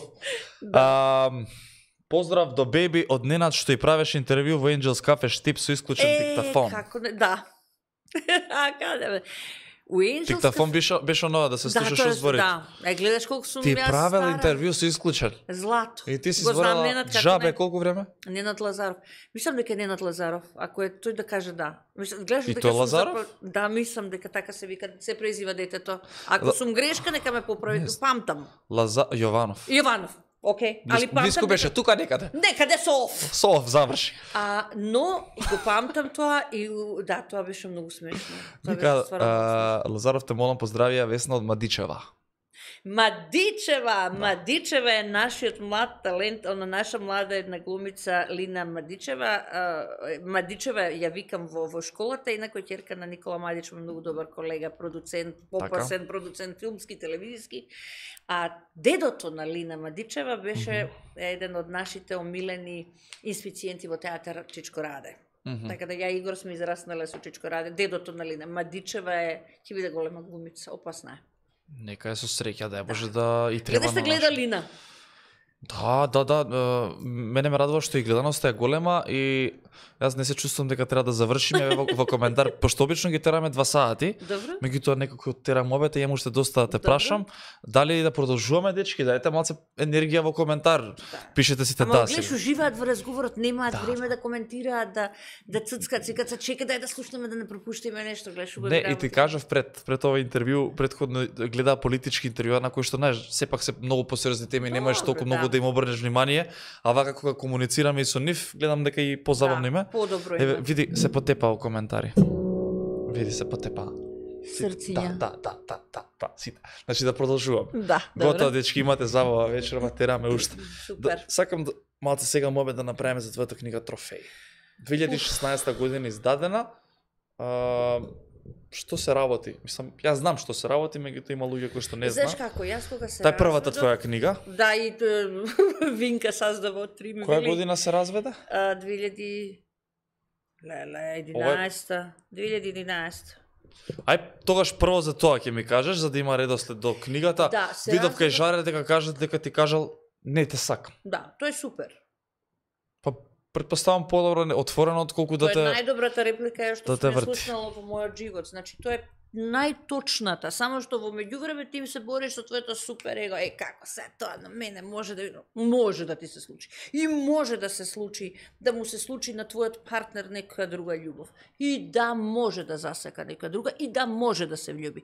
Но не е тоа причина да ти страдаат децата, да имате вие лош развод, да се докажуваш или тој или та, знаеш, но секогаш е пострашно кога си оставен. Uh -huh. Затоа што тоа е тажна приказна. Леле, оставен. Па ја. Да, поддршката добивате што се оставени секогаш. Да, па, сега види. Не Во баш? мојот случај сега баш бе имаше коментари, па сега така и треба, ово, оно, не баш имаше некои такви, да, да имаше, се сеќавам. Но, мене многу, повеќе, многу, многу е позначено што јас се исплашив. Тоа беше страв. Вау, што ќе правам сега? Сама, две деца. Колку време Работа. брак бевте? 10, скоро 10. Аха. Мислам, не, лажам. Боже Господе, ла- не, не знам. Леле, се извинувам. Добро бе се случува. Мислам... Обично мажите 2000 забораваат. 2001 не, не.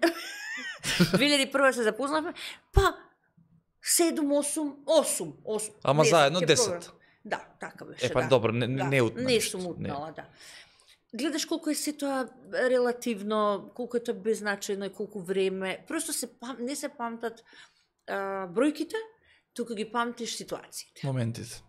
Тоа се тие работи во животот. И сега, знаеш, а, кога, кога те, те остава некој, сега ти, јас се исплашив.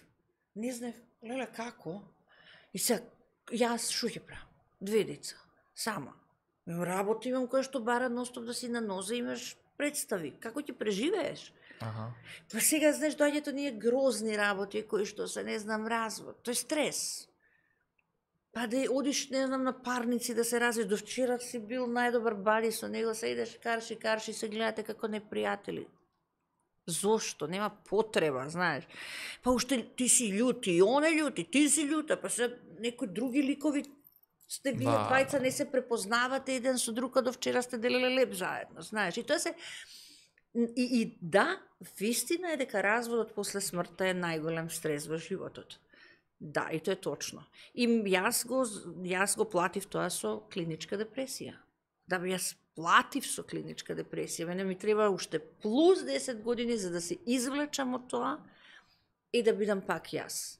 Ама јас свесно влегов во, во таа во таа слепа улица и се борев и тешко е. И да, многу живееме во, едно, во едно време каде кое што е полно со стигми, со ограничувања, со знаеш, а, многу е сепак ова е еден а, ова е општество на мажи. Оваа држава е, е држава на мажи. Не е за жал се уште држава на жени. Да знаеш. Значи секогаш е многу потешко да Јас ќе ќутам на тема. да, да да бидеш па да, тебе ти секогаш им било полесно Што и да кажам, ќе се ќе се разбере погрешно од мене. Не, секогаш, ах да, сега да именем. Не, не, туку сакам ти кажам, многу е полесно на мажите да да успеат и во шоу бизнисот, и во театарот, од проста причина што е полесно таа енергија отколку знаеш жената секогаш треба пута пет да работи за да се докаже, за да направи, за да создаде. Тоа не е судбина, но ајде еве се бориме да Мгм. и не сакам да звучам феминистички, далеку сум од таа приказна, не ни сакам тоа, но реално е многу потешко. Мене, а, јасот што се посветив на животот да го живеам, јас ти не се чул за мене ништо приватно последниве 10 години. Јас немам ни една афера, нема ништо. Тоа значи дека по пат учиш да си го сочуваш приватниот живот, дека не ти се важни тие бочни работи кои што може би ти биле важни, не знам да се сликаш, па не знам на тацна да го изнесуваш Да, својот да. живот. Не. Можеш ако сакаш, особено во Македонија, ако сакаш можеш да си го заштитиш приватниот живот, нека не кажуваат гачки за гачки и приказни на други, знаеш. Само поздрав од Марио Рангеловски и А фала од ти шоуто на иста адреса е Ке- од, од Куманово, Марио. Да, фала ти Марио. Дај, е, не биди толку стисна, така викаат кај нас, можеш следен пат 5 евра да донираш, фала. се, се зезам, се зезам. Кумановци не давав Се пари. зезам. И те прекинав. Си го Да. заштитуваш приватниот И живот? си го, можеш да си го заштитиш приватниот живот и можеш да бидеш напред, да гледаш напред, да, да се бориш. Ама мене тоа реално мислам тоа нека, нека не лажат другите, секој развод е стрес, како за себе, така за и тој другиот, и за децата, дисфункционалности гледаш, гледаш некои работи кои што не си сакал да ги видиш. Особено кај мене што беше двојна битката, знаеш, ај се една приказна ќе им раскажеш дека се посидети. Са како да им раскажеш дека не се тие виновни што се разведуваш, знаеш. Мгм. Значи тоа се некои на вистина состојби кои што мора да си многу силен за да ги издржиш. А инаку трофеј е да приказна за моето преживување, буквално. Трофеј ме спаси од многу работи. Што? Па таму во трофеј пишувам за првите две првото поглавие за Се нема да ни кажеш за да купат книгата? Не, не, мислам дека не ја печатат, повеќе имаше неколку изданија. Баш и денеска на професорката на ФДУ на Кери кажав PDF-от и го испратив да го чита. Јас немам примерок дома од трофеј. Немам Немаш? ниту еден, немам. Како не, зошто не можеш? Па немам, па не дошол некој дала? видел, да, и го ја купува многу какви се тие поглавја? Тие се Што- прилично, што- па знаеш кажи ни како, нешто тие. кога пишуваш биографија, односно кога пишуваш автобиографија, ти или ќе го изнесеш целиот материјал, ќе простреш на чаршав, ќе ќе ќе изнесеш се или не калкулираш. Значи кога пишуваш автобиографија, кога пишуваш за себе, ти мораш да си искрен, Искрен. со во, во тоа што го пишуваш, оти подобро не пишувај. Така. Значи, не, не, и формата на пишување е многу, многу тешко е да се пишува. Мгм. Тешко е да се пишува наратив, тешко е да се просто тешко е да се пишува, да седнеш да напишеш. И при тоа да пишуваш состојби кои што баш и не сакаш многу да се враќаш од типот на еден обид за самоубиство, втор и да да да ја раскажеш таа клиничка Ти депресија. си завршила која и што- на апчиња. По ход два пати, јас завршив два пати на токсикологија, да. А добро, си сакала да се самоубиеш? Да, будала. Со апчиња? Апсолутно, да. Какви си ти I антидепресиви? don't know, значи види, се баш така го зборував пред некој ден. Значи штом јас сум имала тоа да го направам како средство за да е, за да за да уништам да се уништам себе си, јас веројатно сум го имала тоа и сум ја чувствувала таа супресивна енергија. Значи само за да се значи не, не чуваш ти без врска да ја запави по домија по урини, нели? Ги чуваш, еве сега мене прашај, ма јас не држам тоа по дома. Освен што на пред до пред две години не знам како мина пиеше терапија, ама не пиеше такви, секако пиеше за за својата состојба и фала Богу добре. Ама немам јас, а имам аналгин, имам парацетамол. Не се да плашиш дека даден момент ќе ти треба? Извини? Не се плашиш дека даден момент ќе ти треба диазепам Не, барем? ја знаеш од што... Мајка ми на 25 ќе изложам на Сашка Цаки дај. Ке ја симне, а? запамќи. И знаеш што ми имам последица реално од се тоа што ти го изнакажав? Не можам да спијам. Јас имам 10 години инсомнија, значи несоница. И тоа е најголемата и најстрашната работа, дечки, кои имате, не, не, не, не, не, нема помош тука. Не ти помага ни е, хипнотика, апче, ништо, ништо, ништо. Просто не спиеш. Или спиеш као мрежа, знаеш. Спиеш па се будиш, спиеш па се будиш, спиеш па се будиш. И тоа е еден круг. Колку, се извини, приватни работи се, ама више кога си искрена кажеш све, 100 евра. што значи Донирете за да ти дадам. што значи антидепресија, мислам што значи колку на ден, како Да, а, види, тоа, тоа се, јас ја спремавме ние кои се плаши од Вирджинија Вулф, ја играв Марта, и тоа ми е навистина еден омилен лик, а, и тоа беше па години и пол после разводот, Јас веќе бев на антидепресиви, затоа што веднаш после тие оби, никогаш психијатарот нема да подцени да каже пациентот реплика сакам да се убијам, тоа не е реплика за подценување и со тоа треба да се бави човек многу сериозно и тоа не се подценува никогаш. А особено па ако си имал таков обид, тогаш а, те ставаат веднаш на а, терапија. А, тоа е практи- практично тие ти се апчиња кои што тие го подигнуваат хормонот на среќа, серотонинот и а, ти ја балансираат а, психичката состојба, затоа што реално во фармакологијата нај најсовршени лекови се за психотичните состојби кај човекот, кај менталните болести, затоа може да Значи, познавајќи од тој момент, па после тој се што и се случи на мина, па до ден денешен, јас рамо со рамо разговарам со психијатри затоа што читам литература, знам за генеричките имиња ги знам на Да. да, на на антидепресивите, да, на се што за антипсихотици. Значи се се се оти кога даваш лекови на дете, сакаш да знаеш што значи тоа. Кои се нуспојавите, контраиндикации, што тоа значи за неколку години сега во таа состојба, како. Uh -huh.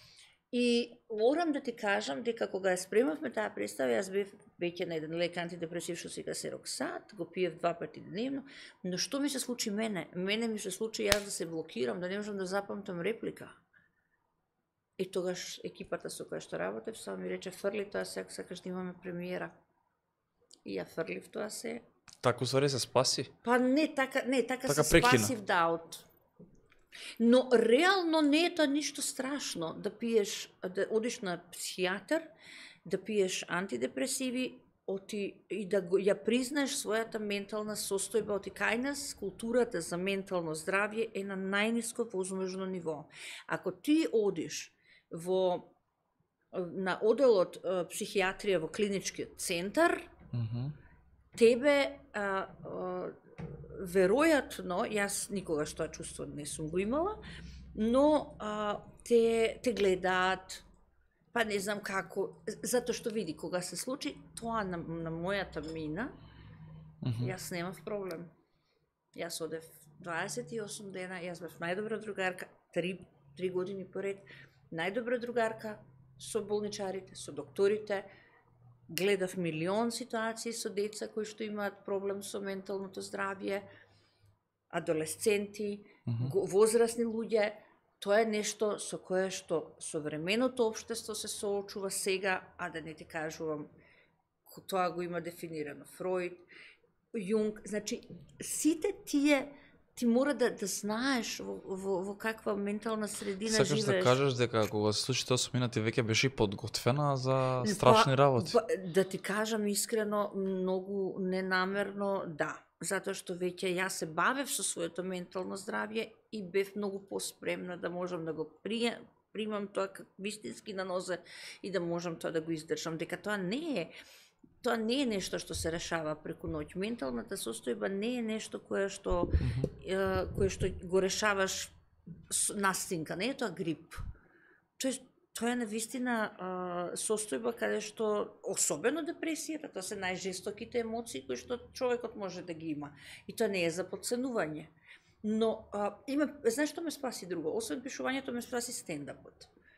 Да. Почнав многу да пишувам, да. И, и одев низ Македонија, угостував дом на култура, па некој клуб, и тоа ме спаси многу, реално многу ме спаси стендапот.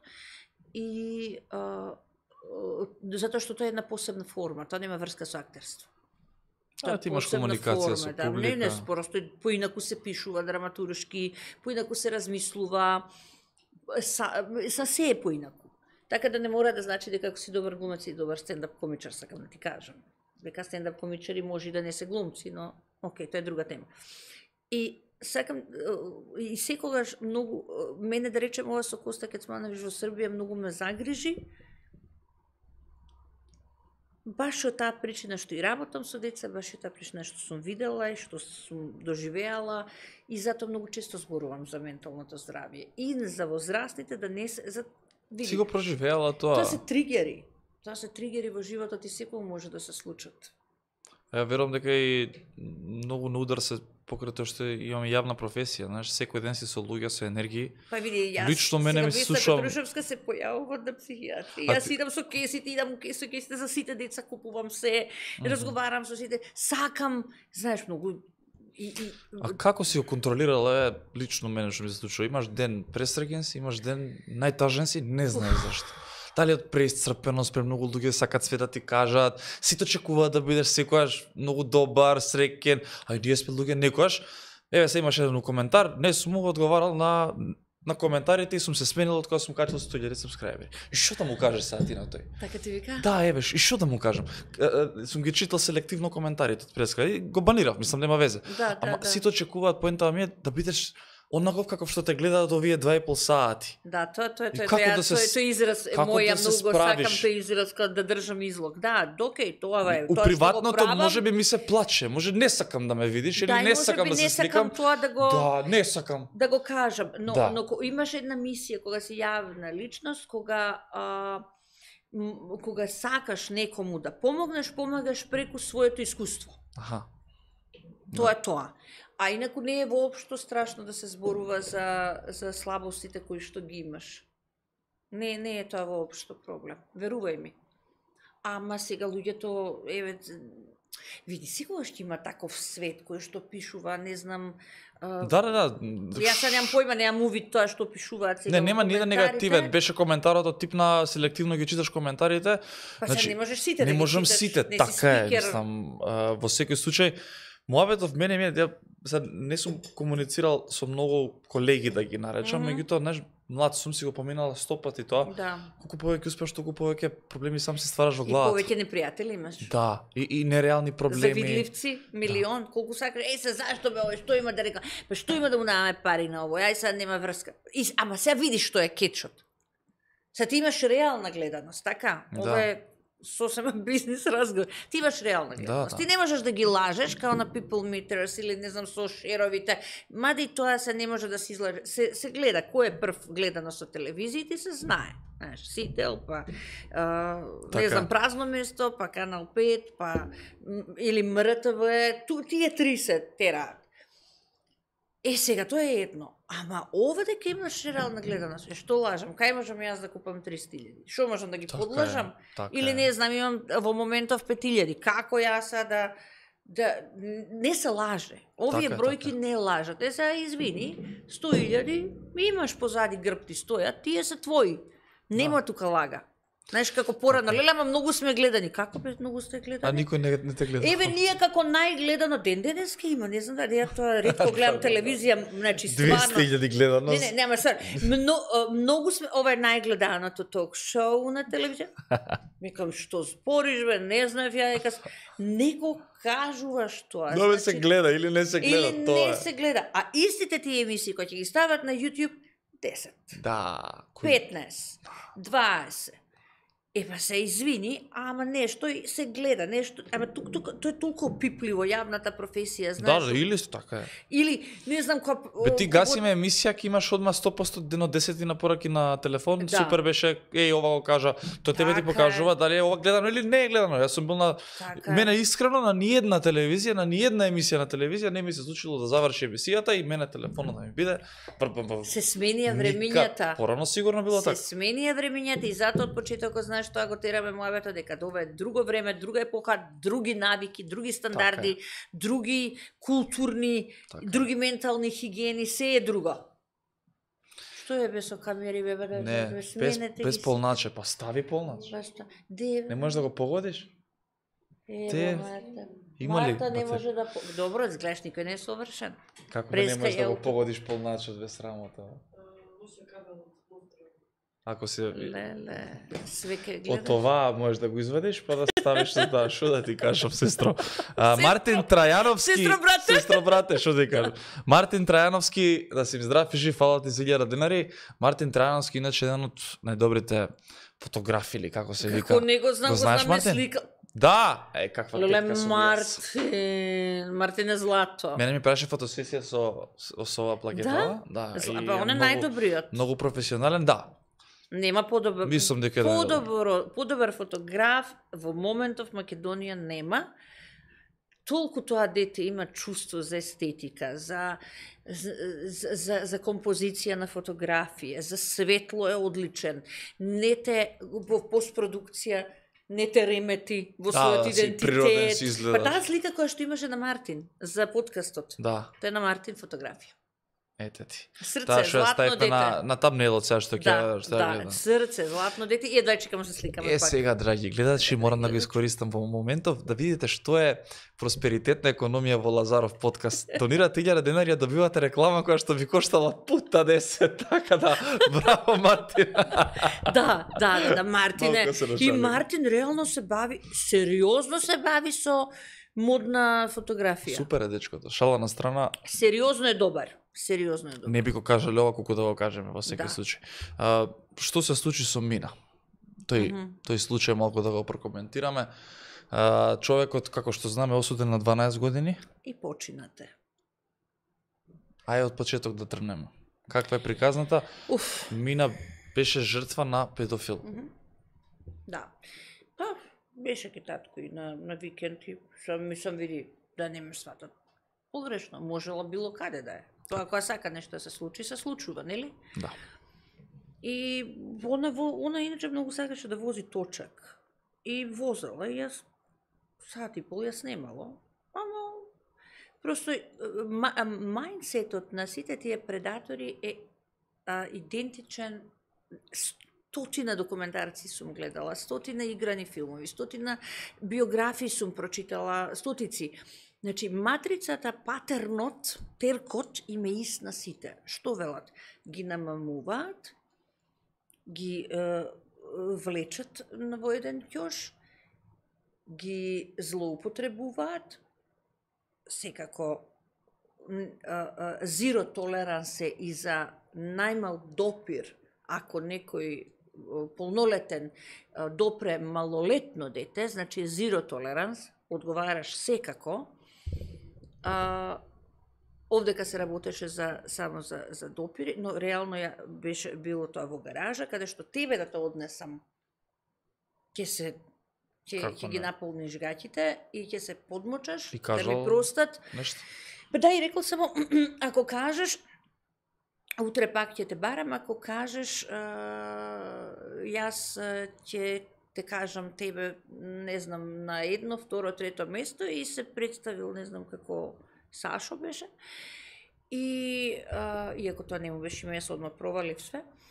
А, и а, вели, еве и дал 500 денари за да ќути. И мине затоа што била многу исплашена. Колку години имаше она? 11. Ла, И ти на 11 години од тој страв што ќе правиш? И одма кажала на братчето, затоа што седел тука на Кирил му кажала и Кирил ми се јави. И сега ми кажа да дојдеш, има нешто со мене. А не знам како да ти опишам. Значи, тоа беше петок, он ги земаше секој втори викенд. Не знам како да ти опишам, ја таман бев легнат и кам, леле, супер малце раде, не знам, 9 сат, беше 9 и пол. Екам да прочитам, и викам, чудно не ми се јавија децава ништо супер се, фала Богу, дека во суштина и мајката треба да се одмори малку, затоа постои татко кога се развидуваш, нека ги чува и он. Јас сум тотално за еднакво патем. Да, Сега да, што да, збора што брмчатова, И кај или татко, татко ма потполно сум да има еднакво гледање татко и мајкото и, и, и што не треба бри мајкава да се одмори. Чао пријатно. А, не мислам дека си поголема мајка како повеќе ги чуваш децата, просто како граф. А, и таман реков, леле, супер е да се одморам. Не. Ми само ми звони телефон. Дали ти веруваш дека јас знаев дека нешто не е добро и тачно знаев дека е за мина. Не можам да ти опишам таа сила на мојата интуиција и предчувство. А тој ја бутнал во гаражата? Не, не, ја одвлечкал со точак. Да, да, она тоа. си возела и ја одвлечкал. Како и- одлечко? Така, фин е рекол, дојде ти покажам нешто. И сега оно малако, мала. Баш како на филмови што н- Да, да, да, деца што ни кажуваат, не ги слушај. А јас знаеш што помислив, кога се тоа го сварив, значи толку бев. А, отидов да ја земам, тоа беше во Капиштец, и само ја седна во кола, татко исто така беше потресен, но, но не, мислам дека не беше свесен што се случило во тој момент. И ја седна во кола и ја гледав дека цела беше лоу направена. И викам, окей, сега ќе одиме во полиција. Јас не знам од каде таа сила ми дојде и од каде памет ми дојде. Дека вообичаено одиш дома. Треба да се прибереш дома, нели? Да си одиш дома. Е, тоа е да го прибереш детево да го утешиш. Да... Ти не предпоставуваш со со умот кој што го го поседуваш во тој момент, не, јас предпоставив, јас точно знаев дека и се случило тоа. Дека е жртва на предатор. И она во кола... уште не ти- не ти Не, не, не, она почнува во кола да ми збори се. Почнува. Храбра била. Се ми кажа. Да кај ќудиме се? Викам ќудиме во полиција. И јас се може да замислиш во, во Карпош полицијската станица на две улици од Анкарска. Јас се вртев, само тоа памтам, се вртев 35 минути со колата. Каде беше викам са полицијската станица? Од шок, адреналин, каде беше полицијската? И полицијската станица е најдов. Најголемото херојство што мина го направи е што кажа на полицијата, на дежурниот полицаец. Во тој момент ти се јавува јавен обвинител. Веднаш? Имаш дежурен јавен обвинител. Значи, кога сака системот правен да функционира, функционира. Ти се јав... мора да ти додели адвокат по државна должност, кој што не може да ти е секој адвокат, мора да има за тоа известна не е лајсенс, него просто мора да има во, во своето искуство адвокатско. Значи работа со деца и Така. и социјален работник мора да ти викнат. И sad ти може и инспектор. Инспектор кај имавме на ЕМА супер лик. И сега на сите посебно треба мина да ја каже приказната. Дека дете. И е, Што да, да биде дали доследна, е, апсолутно. дали лаже? О, да. Доследна да е. И почна да вади пари. До динар ги извади. Ситни така. И ги нареди. Онда вика, мене ми студио веќе, викам, добро, ќе дојдам сега со тебе. Јас ово, и она беше цела од гаражата валкана. Паднала? Не, не, не, не, од тоа што е допири свето страшно. И јас викам, окей, во тој момент се јава јава обвинител и велам, оке, кога може да одиме на судска медицина? Значи, мене ми врви умот. Ама што, тоа треба да се едуцира човек да знае, нели, во тој момент. Викам, кога може судска медицина? Вика, добро, вие ако сте спремни на се, да, викам, јас сум спремна на се. До крај. А не друго, вела, мене за детето ми е. Во, чет, во три и пол или четири ти отвараат судска медицина. Ја отвараат. Професорка дојде. Да, една професорка извонредна. Дојде и велат, ајде да видиме да нема нешто повеќе, фала Богу немаше.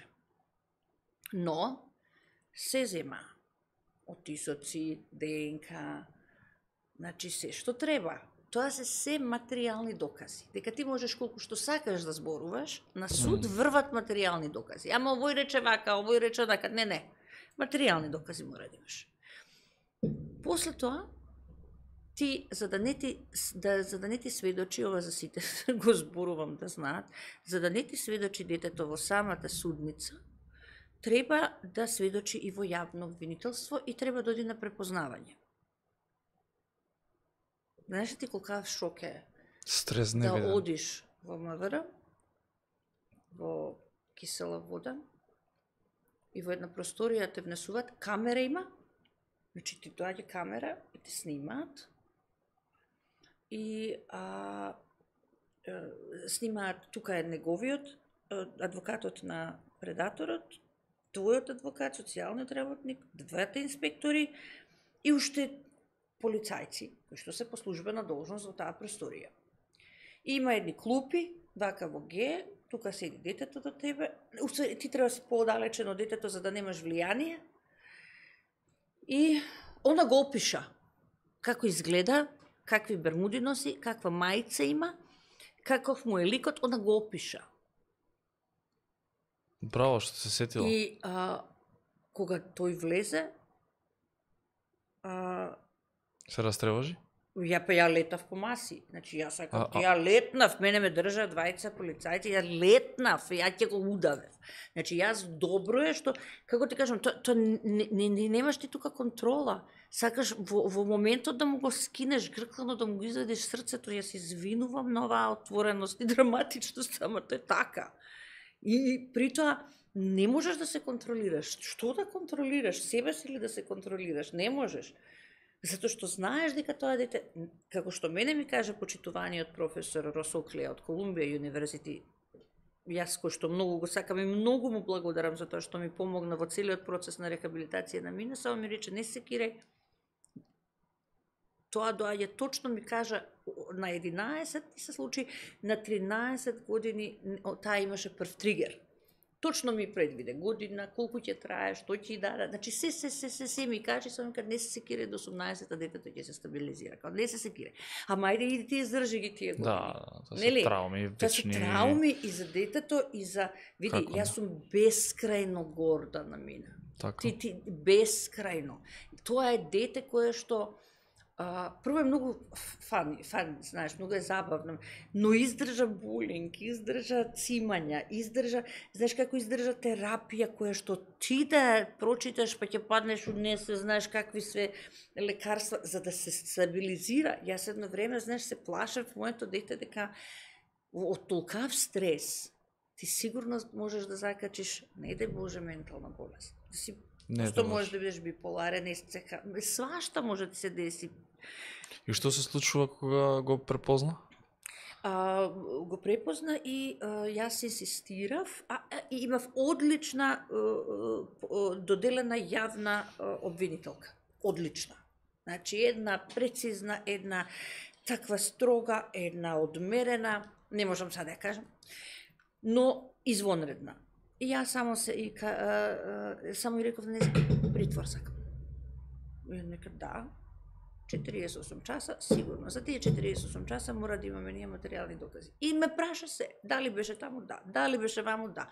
Дали тоа го завршивте, да. Океј, све имаме. Се вика фали само уште едно, за да му го продолжиме на 30 дена притворот, вели ќе мора да дојдете во јавно обвинителство. И јас сум била во соковникот. Ова, соковник, нели? Ја така го викале, ја немав појма. Каков соковник? Па така го викаат или од Скопје 2014 така ага, изгледа. Не знам. Да, тоа би јас не знам. Така ми кажа некои новинари. Ага. И не и се и сам влегуваш извонредно е тоа како како институција многу е така све е подредено таму. Mm -hmm. И те внесуваат во една просторија која што навидуме два пати поголема од оваа, бела. Добро. И имаш камери. Ти седиш на едната клупа, Мина седи на другата, на на работна маса и таму е тој адвокатот. Значи ти не смеш да зуцнеш додека таа го кажува исказот. Не смеш да а да кажеш. Ако кажеш, ќе речат после кога ќе, затоа што се снима и таму типкаат, на сите прашања, тоа дете мора да одговори.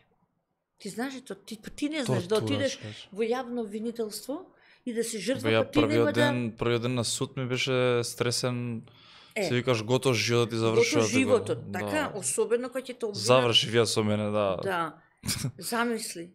А при тоа, кога си жртва. И затоа јас пак ќе се вратам на почетокот, затоа така реагирав да, за да, тебе, да, знаеш, сам, сам ме да. разбираш. Да. Значи, после сите тие стресови, ја тоа просто така го раз, знаеш, не, не го раз, не ми беше добро. Ама окей, добро е сега. Не види, мислам дека со не мојата Не мислам дека ти си млад. Со мојата ситуација, а, тоа беше ука бука трчите дена додека секој нормален човек што не беше партиски обоен, требаше малце, малце требаше малце време за да за да и, и резонираш да малце да. поправилно во моментот е. и ја би бил згрозен од затоа што Ама, добр... све беше тогаш. Тогаш да. и да сакаш поинако да размислаш, друг ќе ти каже ти не си нормална, ќе си кажеш оке не сум Добро, ме, знаеш, од сето тоа мора да извлечеш поука. Нели? Апсолутно и мислам дека со оглед на со оглед на резултативе и поддршка да. во народов, не само што излеков полука, да. туку и и веќе никош нема да се ставам во таква ситуација и затоа сега не вреди. внимателно не вреди, слушам да. пута три. И внимателно треба да слушаш соговорник, не, да. Како не? И ништо, мислам, после тоа, знаеш како после почна а, процес, година дена траеше, јас одев уредно секоја втора недела вторник, четврток, кога беа судени, и тие знаеа долу да ме прашат, а зашто сте? Викам, па да купам патлиџани за баба ми, зашто сум? Сега ти треба да објасниш на тој во судот што те легитимира, да. мора да објасниш зашто се качуваш горе и бла бла. Мене прашуваат Тужители ве тужат. Е, да. И, и у, ама он Викам знае. второ обвинет. Ама знаеш како, како баш кај што те знаат, па што те малтретира. Да, ама, да, да. Океј, тоа име работа, се супер. После им реков, ама не ме малтретирате, знаете зашто не можам да повторувам. И а, а, морам да ти кажам дека а, многу беше страшно секое рочиште кога доаѓав и кога го гледав. Да. И секое рочиште се надевав дека ќе се сврти и ќе каже извинете. Никогаш не ти кажа? Ниту еднаш. Ниту еднаш не се сврти да ми каже извинете и се намина. Нешто, од нешто да каже, да се сочувствува, да види дека тоа е проблем, дека е уништил еден млад живот, на добар пат е да уништи еден млад живот, среќа. Јас сум тука и мина е таков карактер, па не се дадовме. Ама реално тоа е голема трагедија. И никому на овој свет не посакувам тоа да му се случи. Многу јас јас види, морам ти кажеме на работа, јас немам зошто да кревам кликови views. Јас имам друга мисија во животот. Јас сакам да да да да, да го кажам своето искуство за да пренесам искуство на другите за да знаат како треба да се борат. Знаеш што ми кажа инспекторите? Велат, повеќе од 90% кога се работи за педофили се откажуваат родителите затоа што не сака не сакале да ги малтретираат децата. Види богати. Жити се. Па Нема тоа врска со малтретирање, детето ти е жртва, детето не е Така виновно. да, така да. И тука имаш едно менување на улоги. Дека жртвата е виновна. Не. Не е никога жртвата виновна. И почна да ми се уваат многу луѓе и од натрешноста на Македонија и ги охрабрив. Просто Мина ги охрабри, не ја. Мина ги охрабри. Мина е таа која што ги охрабри луѓето. Браво.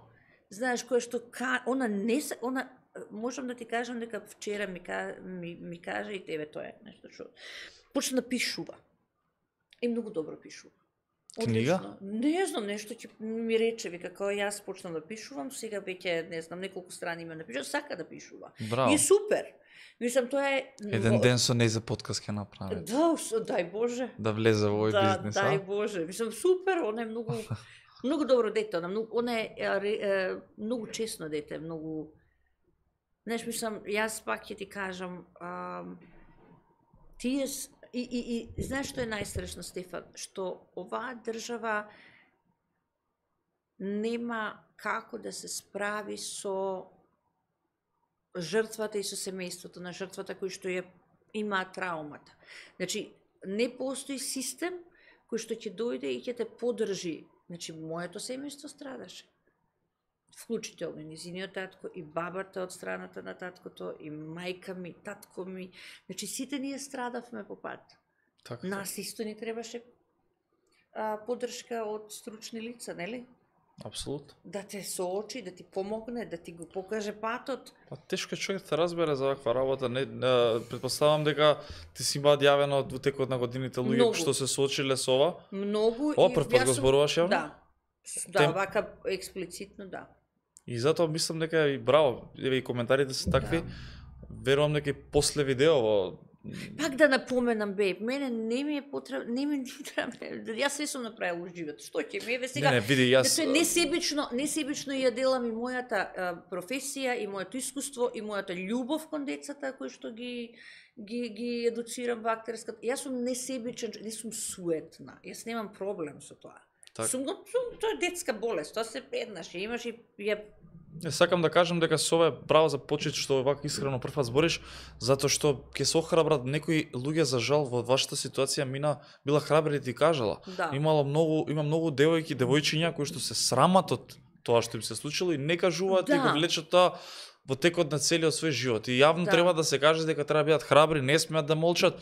За педофили, јас ќе спомнам Вања, се не беше случај педофил, меѓутоа, нели, за јас за такви луѓе тогаш кажав единствен спас според мене можеби е ако не е смртна казна, тоа е некој некоја казна во која што ќе дадат Ништо нема да радзит кјара цел Значи, живот. Не, не можам Колку да и да звучи опишам, сега страшно све Не можам да ти опишам јас. Меѓутоа правда за таков случај нема, не постои. Не, не, не само што не постои, туку а, не, не, не можеш да, да оцениш, да, да, да се извинам на изразот, не ја оцениш, туку не можеш да, да, да измериш, тоа е немерлива болка. Е. Така е. Тоа е немерлива болка за детето, немерлива болка за мајката, за баба, за дедо, за сите, затоа што ти знаеш дека тоа наивно и невино суштество некој го допрел без никаква причина. Не му дал, не, мина не дала причина тоа да и се случи. Значи, што знае дете од 11 години?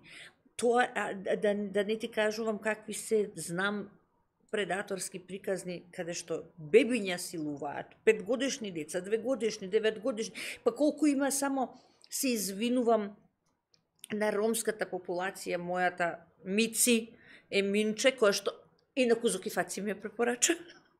Морам да ти кажам. Кој Е, е... е, што доаѓа ми помага по дома. Аха, аха. Значи, Емина е дел од моето семејство. Со нејзе многу често разговарам, инаку зборува два јазики, герман, јазици, германски и англиски. Браво. Значи, Мици моја, Злато. Е, освен Маријанче Злато, позади камери. Е, реално, а, а, и, и зборувам често со неја, велам, 99% од ромската популација се жртви на предатори. И кога ќе одат, затоа што ние има дискриминаторско општество сме. М. Ние не веруваме на ово или на, особено на тие деца кои што ги гледаме по семафори, по паркови, по Да, Тоа се се деца- дискриминирани. Да, и тоа се тие деца жртви на, на насилство. Тие реално се се жртви А на нема институции што ги штитат. Па нема, не, не само тоа, него и кога Нема ќе дојдат никога ќе дојдат да се пожалат, нема не ги сослушуваат. А, не, не. Значи тоа е тоа е тоа е цел еден ланец. Види, педофилијата е многу страшна работа на глобално Како не? ниво. Како? Од Ватикан па надолу. Па се до лобито во, во Холивуд и Значи тоа се на вистина страшни приказни, многу тешки, но мора да овој овој народ мора мора да знае дека тоа им се случува пред нос.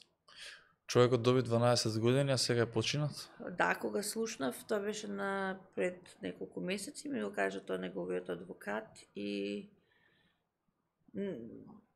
со која што јас сум стварно во коректни односи здраво. Мислам, види, адвокатот не го брани човекот, го брани делото.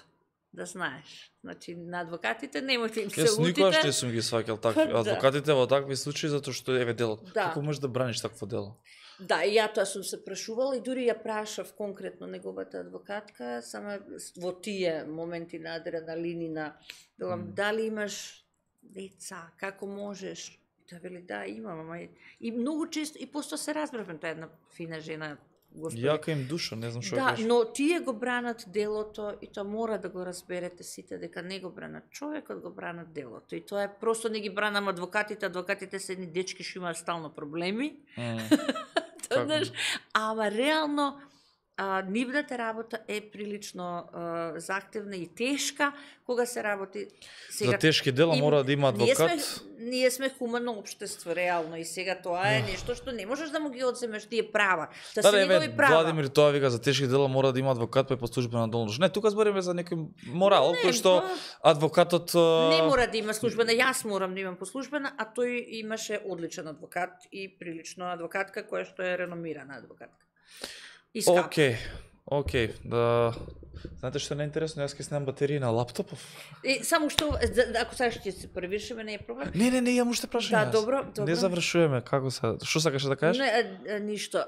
Еве, Мици, прочита, ти си ми два, втора мајка, немам зборови како да ти кажам дека голема често судел. Мици моја е мина злато Дај моја. фрли пуњачот, е, не ти се станува. Не, Чекајте луѓе, јас а, пубаво одамна не сум си поминал нели? на подкаст, ама кај ќе И? Немања, Немања Ковчич, браво, злато. Тоа е, тоа А? е, А таму некаде не можеме? да. Сите штекери ни се полни, дали е можно ова? Дали ќе не спасиш во живо? Леле, Ова го се нема. појави. Дали Браво. ќе го спасиш? Ова го нема. Гледа, Златна. кажете и браво на Марта по стоти пат, ова го нема на Не, јас сум подкаст ја уживо. видела- Јас сум ја видела а, со сестра ти. Со сестра Да, ми. на еден клип и нели заедно зборуват, ама пред неколку години, тоа дека ти истражував и А јас. шо изгаси? Па не знам. А? Некој Ама, ама не работи сега пак. Абе не, не сум ја палила, гледам се да. Нова е хит. Ајде, стај Ако може, девојче, ти тука нешто работиш? Од кога работиш?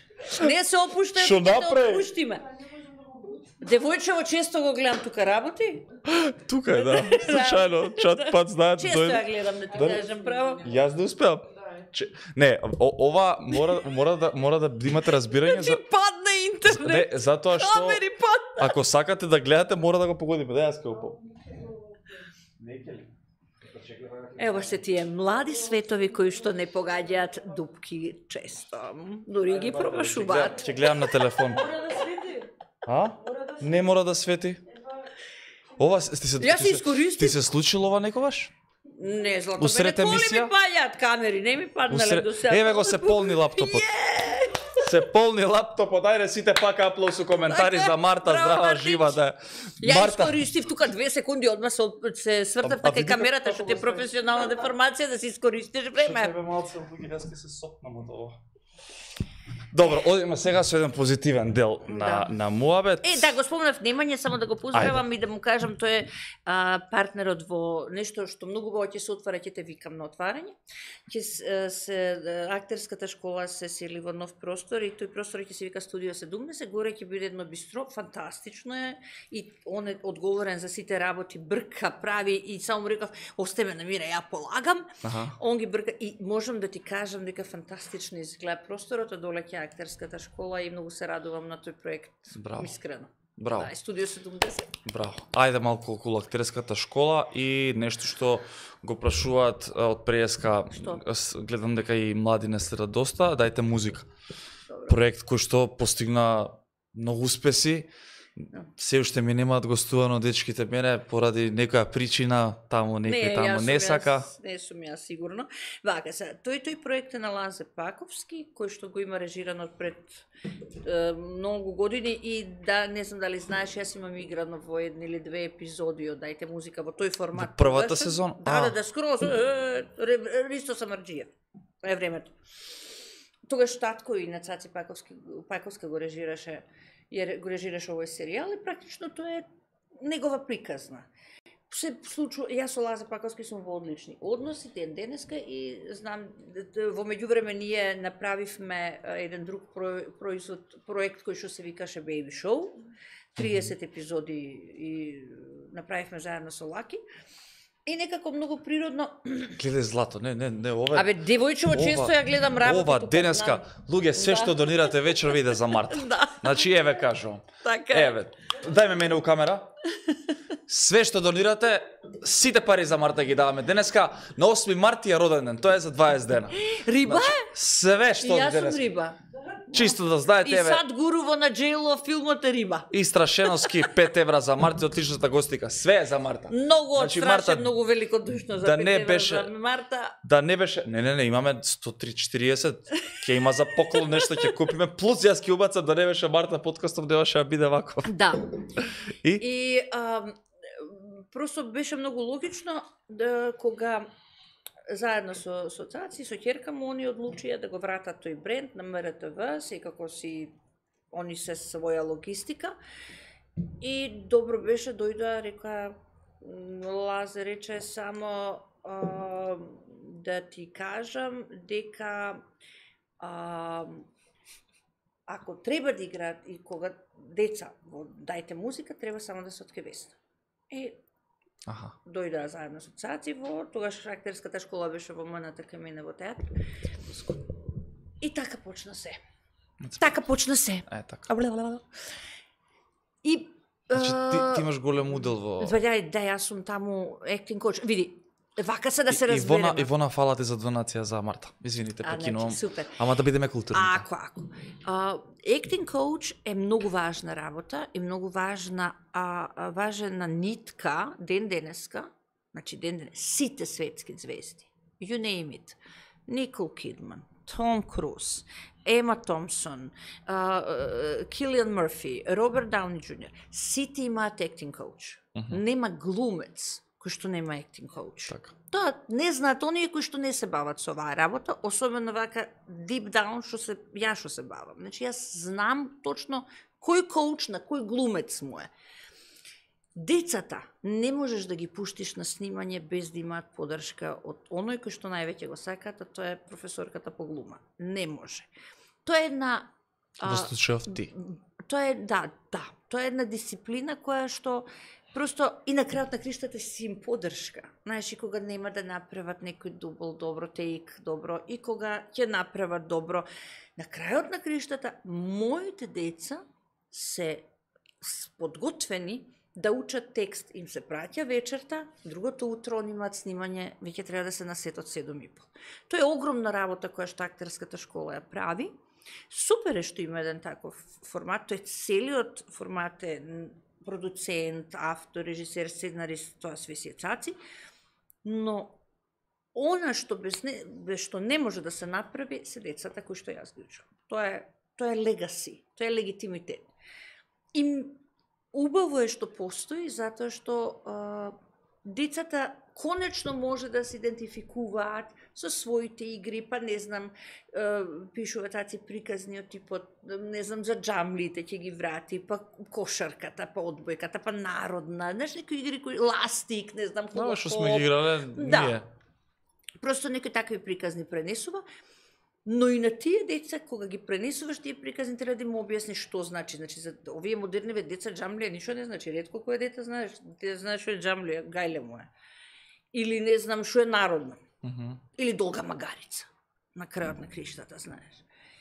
А, па после, еве сега оваа сезона имаат своја лабораторија, па нешто проучуваат, па прават, па не сврзуваат, па... Значи, тоа се тие некои магични моменти и на крајот од денот тие деца ќе имаат во своето портфолио дека биле дел од нечие детство, што е фантастично. Како не? Што е Ја, ја, ја ги фантастично. гледам, многу сум фасциниран од бројките што ги постигнуваат на концерти. да, име. Да. Супер се Фино. Цаци си го тера фино тој формат. Да. Супер е. Пета сезона, сега снимавме во август, многу се напорни снимањата, од први до 30, за 30 дена мора да снимиш 30 епизоди. Секоја чест, она што никогаш не сум го кажала, сакам да го кажам, секоја чест на родителите. Зошто? Затоа што родителите ако не се, тие деца нема да дојдат точно на време. Не ги, нема толку буџет. Да, да. И вклучително и МРТВ, знаеш, нема толку буџет МРТВ да дојде сај да ги собираме со комбе 60 деца, а толку се реално, во, во, во сезона имаш од 50 до 60 деца. И Значи ги има носат помош од родителите. Е, Како не, не само тоа, него у родителите се прекрасни, ги носат во 7.30. Во 3 до 3.10 ние мора да завршиме затоа што тогаш им завршува според сите правилници во МРТВ работното време на камерманот. Тој не сме да седи повеќе од толку часа на носи, тоа е фантастично. Тоа е браво за МРТВ. За потегот. У принцип тоа се за- заштита на работни права, нели? Да, да, да. И во 3, 5 и 10 ние завршуваме до 3 и пол, јас им пуштам порака на во заедничката група, ние завршивме, децата ви се спремни, дојдете во 15 и 30. С, за 5 минути до 7 сите деца се отидени по дома. Тоа знаеш ли каква работа е? Да ти ги Како? донесе некој децата? Да ти ги земе после. и да ги земе Да ги после земе. тоа. Ти излегуваат од работа, не го преместуваат одморот. Август е период Да, каде што треба да 30 одеш дена. на одмор. Немаат со години децата немаат одмор затоа што Се посветени на проектот. апсолутно. Значи тоа се некои работи кои што се заднински, а кои што никој не ги кажал до сега да ги кажам. Да, да. да. И просто ми е кеј да Ме кажам. за животот, јас играв фудбал 10 Ете, години, знаеш јас точно. Јас не сум бил на, на ниту една екску- екскурзија, не сум бил на ниту едно летување затоа што припремите ти почнуваат и претпоставам за да успееш во животот, тоа го кажам затоа Мораш- што знам дека ќе гледаат. Така е. За ако сакаш Да. да. направиш нешто во животот, мора да се откажеш Мора, од да. некои работи и, и, и, и верувајте ми, ако ме гледат тие дечиња, дека сите вие другари што, што им зборат у стил, Лошо. у стил на еј, ти не си дошол го губиш ова, ништо не губите, напротив Така е. добивате, кога ќе дојдат на Така е. подоцни некои години, ќе имаат стекнато искуство многу повеќе од оние кои што тек почнуваат на 18-20 години. Да. Така да еве еден- една поддршка од мене Ма, што пред- знам дека ќе им значи. И тоа се знаеш како тоа се еве сега и, и, што доаѓаат и нови, знаеш, кои ќе ме прашаат, ама дали јас ако одам во актерска школа не знам играм во дајте музика? Не. Не. А сакаат поради да дадат во актерската и да играат во не, дете не, не, музика. не, не, не, не, значи друго е. Така, така. Затоа што моите деца играат и во представи, играат и во филмови. Не ле, ле, лейбелинг не е. А што мисли за новиот Тин Камп што го направија како како Ме проект? тоа е окей обид, знаеш, за тинеџерите никој не посветува посветува внимание за за таа некоја е, за тој некој тинеџерски временски период. Така. И ете и фино е од друга страна што им даде живот телевизиски на ликовите кои што предходно а, игра во во Дајте музика. Тоа се веќе големи момци. М. Тоа се веќе по 15 години, 16, Миха и Филип имаат. Така да тоа е супер како како формат а, и јас пак ќе ти кажам. Мгм. Значи, убаво е да има дајте музика, добро е да има Тин Камп, ама ајде да направиме уште друг формат. Ајде да инвестираме во, во уште некоја програма која што е добра за Се децата. репродуцира цело време. Мислам, треба да се да се снима се повеќе и повеќе. А само да знаеш дека Европската унија и фондовите се свртени строго, не строго, туку конкретно се насочени сите пари кон едукација на тинеџери. Што значи тоа треба да се искористи. Има опции. Па има, само треба да знаеш да ги искористиш. Имам уште две теми е, за прашања, но пред да продолжиме, дечки сакам да ја поддржам Ивона Јо, која што пред пет дена извади нова песна, објави нова песна, се вика Друго, фантастична, многу убав проект. Нови проект работел и Мартин. И А, еве, мислам дека видов. еве ви едно линкче во коментари како поддршка за Ивона бидејќи донираше на А, овој- онда на овој- донираше она на- донираше, да, ме поддржа мене, меѓутоа и да не донираше, јас ја ставив на стори, Ивона е супер и посакувам многу среќа. А, две работи за крај, а, што мене лично ми лично ми интересираат. да. Првата е на иста адреса, како шоу да го искоментираме, а втората е господја министар како представа која што ете можеби во, во таа театарска кариера и нешто најголемо твое, ако не се лажам, а го прекина која година? Уф, не, се- не сеќам. Што кога- сакаш прво ти одговори?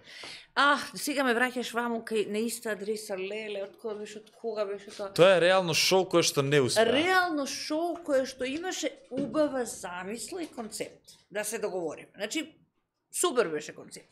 Но што им се случи реално на, на дечињата таму, на децата, вклучително еве се и Марија кога гледа. Тие неонки кои што постојат во собите, нели треба ностов да те снима камера, па, то ова убива. 24 сата. Вака исто со светло. И исто вака, па цело време ти мора да снима. Зашо си да се ненормални од тие реални шоуа излегуваат штракнати после тоа. Тоа светло ти не можеш цело време да го поднесеш. И вториот момент, тие деца И Марио влетаа- бил таму? Да, да, да, и Марио, и Марио беше таму. Тие деца сите влетаа во една приказна каде што пазарот не е подготвен на реално шоу. Значи, а при тоа е имаше супер креативна идеја од тоа шоу да има музичка звезда. Значи, тие деца се бавеа со музика, немаше скокање по кревети, немаше криење под кебиња, значи немаше... а, За друга. Меѓу другото. Да, значи немаше такви моменти. Аха. Не, децата беа прилично воспитани, воздржани. Еден од нив сега баш прочитав Златко супер просперира како дизајнер. Златко е Да. одличен, мислам. а, Е, па Светски тој тогаш тој, светски тој, креации Да, прави. значи тој тоа дете тоа беше толку едно искрено, едно благородно. Па и Даниел Е, за- Николовски, е, Валери. Значи, да, еден значи куп. сите, сите тие деца таму, знаеш, тоа тоа се квалитетни деца, тоа се добри деца, кои што влетаа во таа во тој концепт, но за жал беа изневерени од од продукцијата која што го продуцираше. Зошто Тоа- не им платија? Па не знам дали, мислам дека нешто не беше платено, може тоа Марио да ни каже. Мислам дека нешто не беше не беше испочитуван ни договорот, ниту се ниту пак снимија спот, ниту ниту то, тој што победи, леле, не знам, ни заборив дали победи некој, нели, нели победи некој, кој победи, не знам. А, а инаку децата се спремаа сериозно. Значи сериозно и ние бевме жири и сериозно се спрема. Јас одев знам во куќата, разговарав со нив. А, сериозно се подготвува. Им значеше тоа. И ти сега на еден млад човек да му го срушиш филмот за Да, да. за шоу бизнис, знаеш, а си ги навлекол. Зошто за некој твој кейф или не знам да А што беше приказата со Боки, таму се каравте цело време? А, не, тој тогаш ме убедуваше дека тоа е шоу бизнис, ако не се караш нема да имаш гледаност. Да, тоа беше, тој филм беше Боки тогаш. Така? А млад беше тогаш многу. Е, види. Неблагодар, неблагодарна тема е реално. Мислам, затоа што не е фер. Сега не е ни присутен човекот е во таа состојба во која што не е фер да се да се зборува. Навистина му посакувам многу здрави, искрено. Без разлика што Браво за е. Браво за. Обично луѓето знаат да да плукаат моменти Не. кога други другата страна изгледа безпомошно. Не, не, не. И, Не, не ти го постави искрено- прашањаво за да те наметнам Не, знам, да не, да кажеш знам, нешто а, лошо. а, Не, не, не, Туку- знам. А, види, на крајот од денот сите сме луѓе, сите имаме право да сгрешиме. Ние, знаеш, медиумите секојаш сакаат да ја водат едната страна, но јас сум уверена, познавајќи го од мал, он од малецот доаѓаше кај мене дома и знаеш кога ја формираше таа 13 за најуспешните, Сигурна сум дека постои негова верзија на, на приказната, која што тој нема да остане должен и ќе ја каже, познавајќи го неговиот карактер. И Па може би. Или, не, па тоа е просто, мислам дека тоа е, така треба да биде. А во, во, во состојба во која што него го донесува како лик и како човек е многу, не, тоа, знаеш, навистина е тоа Не е некумано. хумано. Извинјам и на најголемите убици во светот, кога во Америка им дозволуваат Браво. медицинска помош. А, оно што реално ме потресе последниве два дена е смртта на Навални и е, тоа е, знаеш како го покажа во кој дел од Русија е затворот, ја слушав жената Јулија Навални кога зборуваше. Така да, знаеш, тоа се, сега измешав контексти, се извинувам, но е, реално е, детето ќе детето тоа што помлато од мене многу на крајот на криштата тој успеа па се види од овој аспект кога гледам од оваа од оваа дистанца животна, па гледам дека он знаеш ќе ќе се соочиш со некои работи, тој сепак ја донесе беше и беше другар на Марина Туцаковиќ, која што беше гениален текстописец, знаеш, и Поблиску до микрофонот. Да, да, кој што беше е, гени, гениален текстописец.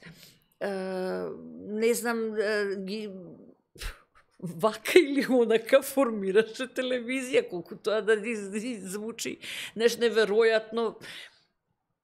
Неговата приказна во Јас верувам дека дое денот во еден дел успеа.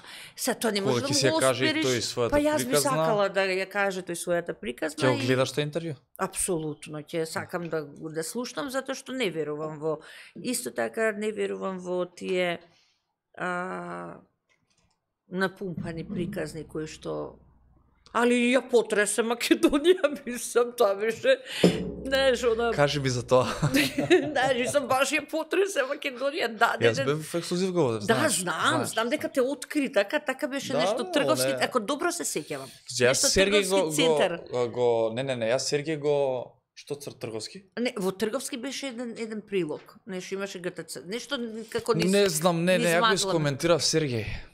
Јас Така направив видео за беше. Сергеј, А, он ме викна мене, па после Така Боки ми даде, да. ми да, даде работа. Така. Види, ја, ја го чекам денот, те две чекам, мислам, се надам тоа ќе биде брзо кога ќе ја каже својата приказна. И треба да Секој човек има своја приказна и треба тоа. Значи да треба публиката да се научи да ги сослуша двете страни, после тоа да оцени да си процени самиот гледач кому треба да верува. Многу ме радува што знам дека сте имале кошкање во текот на кариерите, што добро. е во ваква ситуација многу човечки од твоја страна и оваков Ма, пример да. треба сите ние младите да земеме, Да. затоа што е мојата ситуација кога беше и тие што ми беа пријатели и секојдневно на стори што ме става, да.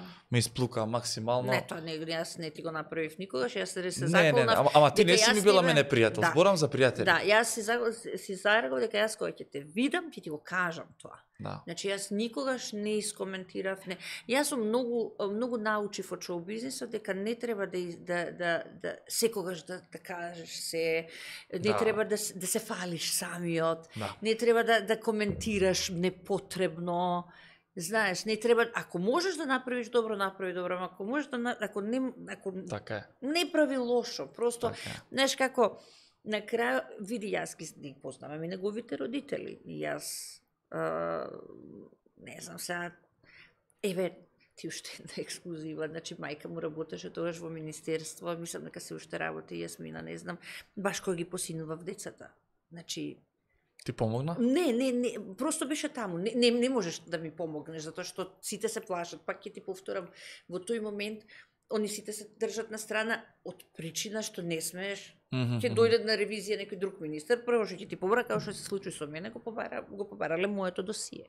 Така. Значи, но, но беше тука жената, ја, ја памтам по ходници, по, сам просто ја, ја памтам жената, една прекрасна, една извонредна жена. Така да, реално, многу се тешки тие работи и не е тоа, окей, не му посакувам никому, ниту сакам тоа да се, сакам детето да биде живо и здраво, да се извлече и да се тера со животот. Сепак е млад. Како не? Колку години има?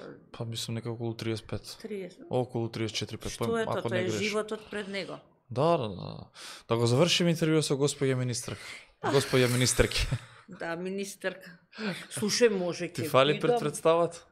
Јас ке, јас јас сум за. Не. Па ми личи да сум министерка. Види колку сум паметна. Па реално. Па колку сум реално. човечна. Дали беа гласале, ева не можеш да гласаш за Не да те може- стаje некој. Треба да ме предложи некој, треба да те, те, Треба да те стаje така. некој. А, се, се шегувам. Да, министерка е... А, прво, Нушич мора да го има на репертуарот на секој голем театар.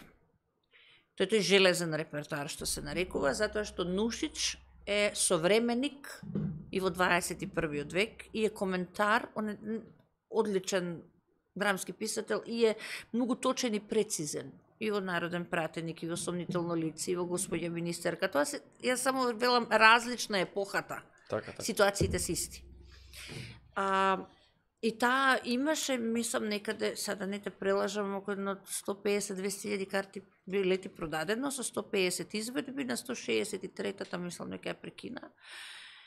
И окей, тоа е сосема доволно, ја виде министерки стариот театар во на тема, ја виде и новиот. И тоа беше извонредна представа каде што имаше 6 или 7 сонга, каде што игравме сите, пеевме се. Таму израснаа многу млади глумци кои што сега се големи. Еден од нив е Сашко Коцев, он израсна со министерка. Така да на мое огромно задоволство, таму има и, Јелена играше, Софија Нацевска. Тоа се све просто Славише Каевски, Бог да го прости. Мгм. А, така да имаше таму една плејада и кебана од глумци кои што се значајни ден денес. Така да министерка е треба да се родиш Не се во мачи. Не се мачи. Да, не се мачи, ќе Ајде, ама, ама не се мачи, остави ја камерата, ајде. Така да министерка треба да ти се случи во вистинско време и треба да имаш глумица за министерка. Ако немаш глумица за министерка, не ја прави министерка. Просто е многу. Океј. Ни се потроши и камерите. Се се ни- потроши и ние заглавивме како пепелашка во 12 часот ќе си одам како море пропаѓа камери што- Лаптопи се потрошија, камери прегореа. Све прегореа. Јас се надевам Веста, ја мислам дека ова е едно од, од најдобрите интервјуа во животот. Леле колку си скромен. Па лично така, така, така чувствувам. Беше многу искрена, Да. многу теми се начна. Затоа што имаш еден друг, знаеш како твојата публика не е она која што гледа Уште Реално- сакаме викаат. Нема, нема, нема, што ви уште, па да Газот не заболе, не може више. да. Значи, имаш, а, а, а, тоа е друга публика, публика која што е растеретена, публика Да. која што може слободно да каже што мисли, што чувства. Јас нема да се навредам било што и да прочитам а, од коментарите, затоа што те, просто треба да си подготвен и да, оке, Не позитивни не, не, не, најсмешно се, види, морам ја да кажам, умрев од смење. Нели сега, како што Бред Пит, ја тоа го викам, нели се подмладуваш, се ажурираш, Аха. И јас си се ажурирам, као Бред Пит и ја кај доктор Собе у Дента Ес, ја да се пофала. Илјаду денари, све сум научила. И се, мене мајка природа, бре уста у живот не ми даде. Па викам, сакам уста да имам, што има врска? И се ста- и имаш коментари по дете. Де бре, све супер уста. Па сега што да брам, за вас ли, ваш ли мерак да ја поправам, да ја преправам? Не може. Сакам да ти кажам дека сум а, мојот живот е мој избор. Мојот терк е мој избор. Мојата боја на коса е мој избор. Моите се све да. Твој живот. да, и твој живот. Значи мој живот е тоа. Знаеш, мислам, а, мојот а, не, немаш право, ти немаш право ниту да, да го коментираш тоа што јас го правам, зашто е мое. Нити ми плаќаш дома струја, ниту се грижиш за моите деца, ниту имаш одговорност некаква во мојот живот. Едино на Така што е. можам јас реално да одговарам етички и семено е само пред мојата мајка. Реално. Значи, кон нејзе имам почитување големо, имам Така. огромна љубов и знам дека мајката секогаш е во право и дека таа ќе те подржи. Само мајката може да те разе. Не ези должам. Мгм. Не и должам во вистинска смисла на зборот, но Така е, секој, секој дете се чувствува така према сакам родителите, да нормално. бидам добро дете за таа да не се грижа, да не се секира и мислам дека во оваа мисија до сега сум успеала. Но, ден денеска да ми е жива и здрава, имам само кон неа обврска. Така е. Нешто ако сгрешам да и се извинам или да ја предупредам дека ќе сгрешам или да се извинам за нека моја постапка или да ја признам грешката, да ја се соочам, да ја се пожелам, да таа ќе ме разбере. Ниту еден друг нема таа моќ, таа сила, таа жестина, знаеш, да те разбере и да те подржи. Така да, во суштина, стигнавме до твоето дека there's no business like show business. Така е. Така да тоа е... Да знаеш Но ова дека- не беше, ова интервју не беше шоу бизнис. Не беше. Не види, јас го имам малце променето концептот на функционирање во овој подкаст од првата Мгм. сезона, затоа веќе и политичари викам, а, и, и повеќе се Е, тоа сакам да ти кажам. Е, сега, види вака бе. Не треба политичарите да ни се поглавни, поголеми звезди од музичка звезда, од е, јутјуберска звезда, од глумци. Ама Не треба, не сме. Тоа е така заради тоа што живееме во мизерија. Ето Да тоа е. живееме во, во да ни убаво на сите, нема да ме интересира кој е министер за правда или министер на транспорт или, Ама поразително или градоначалник како? на било која населба. Поразително е кога дете на 10 години знае кој е овој или оној. Не сакам просто да ги Еве знаат се кој е Лазаров. Ма ти не си и министер? Може ќе бидам? На YouTube ќе бидеш министер ти. Така е. Еве мајка ми вика така, слушај Стефан. Да, да, да. ја погоди мајка ми со со. Дај да ја поздравиш многу и мислам дека се знам Си одела во салонот за Па убавина, како не? кај како не? Во, во кисела вода Во кисела вода Како имаше. не јас памтам. Мислам, вака и кога ти кажав првиот пат не ми врати. Кам, зошто мисли Стефан дека јас сум задушна баба на парастос, па не памтам, мислам, све памтам како. Срце И прекрасна, прекрасна жена, се сеќавам и многу љубет. Ма беше таа е дел од вртелешка човек. Таа беше Спонзор? Спонзор еден вид. Трентас? Да, Трентас беше спонзор на вртелешка во една од сезоните. Ето да. Ете, видиш, постои уште тоа? Постои, постои. Каде? Моментално се наоѓа пак во кисела вода. А, рампа ја поминуваш, доаѓаш до оној споменикот што се што ги што ги дели. Добро, да. Двете, тука десно одма, патот. десно одма. Жената имаше незгодна ситуација пред неколку месеци стенд ставаше на срцето. О. И моментално го го разработуваат салонот, бидејќи знаеш Да. што нашава држава кога нема собственикот, отиде све јабана. Да. Еве затоа да си го изрекламирам сега Ма салонот ја за не знам зашто на не го рекламираш нон-стоп, зашто Па го рекламиравме така и испаднало на Инстаграм повеќе го форсираме, со сестра ми го работат. И моментално имаат актуелни понуди. Првите што Да. го имаат, не баш однака Писна, те И викам ја почесто вака на подкаст да рекламираме све што...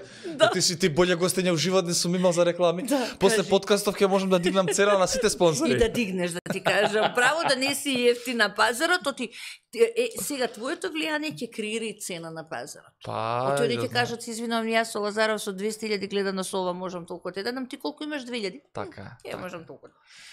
Еве кој те поздравува и мајка ми. Не, Е, овој муабет треба да го сватат сите оние што ме плукаат моментално колегите на естрадата, затоа што јас сум тој кој што им креира пазар моментално, за фирмите да разберат пред пет години Да. мислам именка беше фирми да има реклама на YouTube. О, тоа Све. не постоеше. Сега фирмите се рекламираат и може да ми кажат фала, а не да ме кењаат по подкасти. Да, Знаат тоа кој. се извинувам за зборот, да, да, да, да, да, се- колоквијален Ама Весна 12 и 3 е. Смееме сега веќе. После сите кабли пагање да кажеш да, не, неат. Супер си споминавме сега да Да, ми... ја, ја Нели? мислам да, мислам тоа ќе ти каже публиката, не види утре по кој ќе излезе по портал или задутре, гарант ќе ме умрат, ќе направат нешто. Не, не, не, не. Ќе извлечат Джамбас нешто го од умира, нас. а тебе не, ајде, добро. Ами имаат умрено два пати и до тебе? себе, не, да. Ла, ла. Така да нема везе, ако ама джам... Джамбас Тоа кај- го умра кај него- пред 15 кај дена. него погрешно удира, поише живее така. А кај мене кажа у подкаст и кажа дојде февруар му умираат. И стварно пак човекот. Леле, замисли да направиме подкаст јас ти и он. Па тоа ќе трае 6 сати. Веле многу е, не ќе ни текнува на, на мене на некој на милион ситуации, Јас ги знаеш. чутам ја Да, многу е, многу е срце. Ама е сега знаеш дека ќе ево доиран и ќе има куќа. Не зборевме ќе- да направиме некој документарец за А Дојран. оди да, оба да се стопли. Ферхунде има таму, Ферхунде кај да е сега од ветеринар ќе се врати, Ферхунде Ќе ја правиме Джамбазова. инфлуенсерка и не изе, значи. Па бога ми да ти кажам, Ферхунде ќе биде појака од Бошко. Ти текне на Бошко? Да, како? Е, Ферхунде, ја мислам, и Како с Емилија пројде со спор, Емче споредна улога имаш, Според- ама ја осеќам Ферхунде, сега ќе биде у кастинг на филм, у гарант, у серија, у преспав ако не ја однесеве на, ќе ја носи на интервју. Еве првото појавување кога нему е на Бубамара со Ферхунде, глава сечам. Мислам, само мене бубамара нема да ми дадат живот. Не па не, зашто да ти дај глупости? Нема, не, јас сум имал, ја имам негде околу 20, 20 куса тие таквите, што за водител, па за емисија. Едно време ми даваше баце, после ме Еве зашто забореј. за, за, еве реален мобет сега Мене за животно дело треба да ми дадат. Нај најголема гледаност правам годинава не ми дава вест. А се знаат, наградите, не Па знам. за два дена не ми си има јавено, тоа е. Заборавив јас. Сега има. Лошо е да. што така, не, само на мене, еве, ни два бона ќе ги спомнам, никогаш нема добиено. Да. Лошо што малце вашата генерација има суета према новата генерација. Во Не сите јас. Па, а, Еве ја за два бона знам. Спре- лошо е тоа според мене, мислам не сакам да плукам по, по таа манифестација, независно што ре- реално некојаш човек може ај фейк скромност, ама ако некој заслужи годинава, тоа сум ја изоки. Со оглед на тоа дека направивме стварно баш, големи да, бројки. Точно, И тоа е не не можеш да ми ја побиеш таа Неспорно. таа таа тој факт ќе го кажам. И, и една порака, еве, не сакам да плукам затоа што таа ретко која манифестација толку обстојува и тоа треба да се Да. почитува. Точно, точно. А, и поздрав до Ранко, не на мене, не ми давај никогаш, мислам мојата награда имам позади мене, Да. поголема бомара од таа позади мене не постои, Да. меѓутоа заслужуваат нови млади дечки да добијат се нешто. сложувам. Се сложувам и дека треба да се поддржат младите Да. и дека тоа треба да биде ако сака да се да да да постои таа манифестација, Така е. треба да се подмлади. Тоа мислам дека не си истиот ние тие джамбас, така да, Да. тука не сме осамени во мислењето, но и ве гледаш јас сум толку многу занесена по науката што заборавив кога е Бубамара. Верувам дека ќе биде забавно, фино, смешно, ама тоа е тоа, да не види. Јас да ти кажам нешто. Ева, вака за крај. Ќе добиеш награди. На крај никој нема да ги спомнува тие награди, секој ќе те памети по што си го направил, што си го создал и што го живееш. Да. И значи легасито, иденти- идентитетот кој што го создаваш и твојот печат кој што ќе го оставиш во етерот е многу поважен од било која на, награда, верувај ми, ја нема таа награда на светот колку што ја има публиката Така во моментот така која што ти ја дава. И тоа не е Така флоскула, не е, просто не е ни утеха, просто тоа е факт. Знаеш, мислам, Така е. тоа е така нешто кое што се памети 24 Затоа и часа. кажав ова И, и мене. знаеш што, не е Оскар за да ти го зголеми хонорарот за следните филмови. Не знам, а, сега Килиан Мар, Мърфи, после Опенхаймер, неговиот хонорар ќе биде сигурно од 15 до 20 милиони долари. Мгм. Ако до сега му бил 2, 3, 1, Така, така, така. Оскарот е Оскарот Значи, е нешто сосема Оскарот друго, крева така. цена. Е сега, јас добивам по Бамареве, јас ти кажам, сум, имам преку 20 сигурно. Тоа се тие, не знам, за вртелешка, за водител, за глумец, за представа, сва, за свашто имам добивам. Супер, фала многу. Све тоа е супер. Ама, не ти дига цена таа награда на пазарот. Реално. Да. Е, тоа е. Тоа е фино, Па не, тоа е за- забава, тоа е супер што. Е, е, е, просто постои, супер е што коментираат секогаш тоа што треба, што сака да го слушне публика и што сака да го каже публика, тие го коментираат и тоа е супер. Ама Затоа да се... кажувам јас дека позади мене стои мојата бубамара, а таа е Да. поддршката од народот и тие 100.000 сабскрајбери што ги достигнавме пред 3-4 Па, сега ти месеци. се бориш за 200, за 300 Па, илјади здрави, предпоставувам, нели? И ова вечерва и поддршката и, и, и коментарите и све тоа што го добиваме. Да. Весна, мислам дека е Да, доста. доста е, да. Ако станеме вака можеме. Ајде, гасите ми Да. се спие најдолг подкаст два дена. А, Супер, фала и на Ова тебе како со гостите на врата пред испраќање најмногу моабет. Да, да, да, вистина. Ами чекай што ова да ти кажам. Чекай што ова да ти кажам. да не бутне, леке бутне. Ај да се. бутнеш са готово Марта, ја Фала ти многу што дојде, што ми испочитува мене, сите Фала наши гледачи. Ми представува стварно чести задоволство и се надам дека ова е еден почеток на наша соработка. Да, дај Боже. И понатаму ќе ќе ќе снимаме и Се ќе што ти правиме. треба, Исто. деца, актерска, се што треба да, да просто и тука ќе бидат, знаеш, во моментов да речеме 6 деца ќе снимаат филм од актерска школа. Тоа е супер успех. Тоа се тоа треба да се подржи. Млади режисери, Така млади глумци, млади продуценти, млади ју- се што се продуцира треба да се Така подржи. така е. Тоа е иднината, мислам, ствар, како ти то звучам, али така е. Така е, за министер ја правиме, Весна. Фала ти уште еднаш. Луѓе, фала ви и на вас за... Што за... издржав? не, ја мислам дека ужива и по коментари, многу позитивна енергија, браво. А, уште еден успешен подкаст, само за крај да се заблагодарам за поддршката на моите а, спонзори. Крусел ве известив, ви кажав, Марта во кадар Весна. Еве, гледате од Autovel подарок, исто така од Крусел, Лајка, а, тоа е фирма италијанска, се пиеше кафе од Кабошон, а, Дентисимо ни даде, тоа е вода од Autovel Дентисимо правиме giveaway, немаме ништо Дентисимо да покажеме, доктор Марија ќе ја поздравам, и од КФЦ немаме за жал да кснеме нешто, но доби, добивте некој од вас и ќе го направите До тоа. 12 работат. Да, тоа сега ми текна, затвори ја. И Има си бит погачи. А, инаку само што. За крај. Чека ми вика Лазаров само што ми чао. Ми вика Лазаров. Викам, добро, да не си МРТВ па да се зна, за, занесуваш кај се наоѓаш, кажи ми каде се наоѓаш. Вика, во Бутел. А викам, извини, ја рута само за мртви знам до Бутел, до кај тебе не Не знам. кажувај кај сме Весна. Да, Не до сме таму. Не, обратно од гробишта се. Лево таму сме. Да, да, да. А, а да, од доктор Марија имам да ги покажам моите зави. Завис. Сај за. И ми ти вика, покажи ги се, покажи ги се. Тоа е тоа, луѓе, што да ви кажам. Лајк и subscribe, поддржете го подкастов, чувајте се, фала ви за се и бидете ми здрави и живи. Аха, да, заборавив. Утре, невообичаено, меѓутоа, бидејќи господинот Желко Самарџич е во Скопје, на ова голем концерт, за да не го испуштиме, одлучивме епизод... Никако.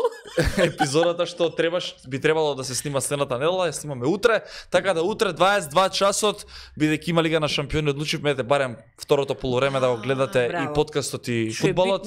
Да, да не го Браво. пропуштиме. Се гледаме утре во 22 часот нова епизода на Лазаров подкаст. Здрави, живи, весели. Чао, Така е. чао. Чао.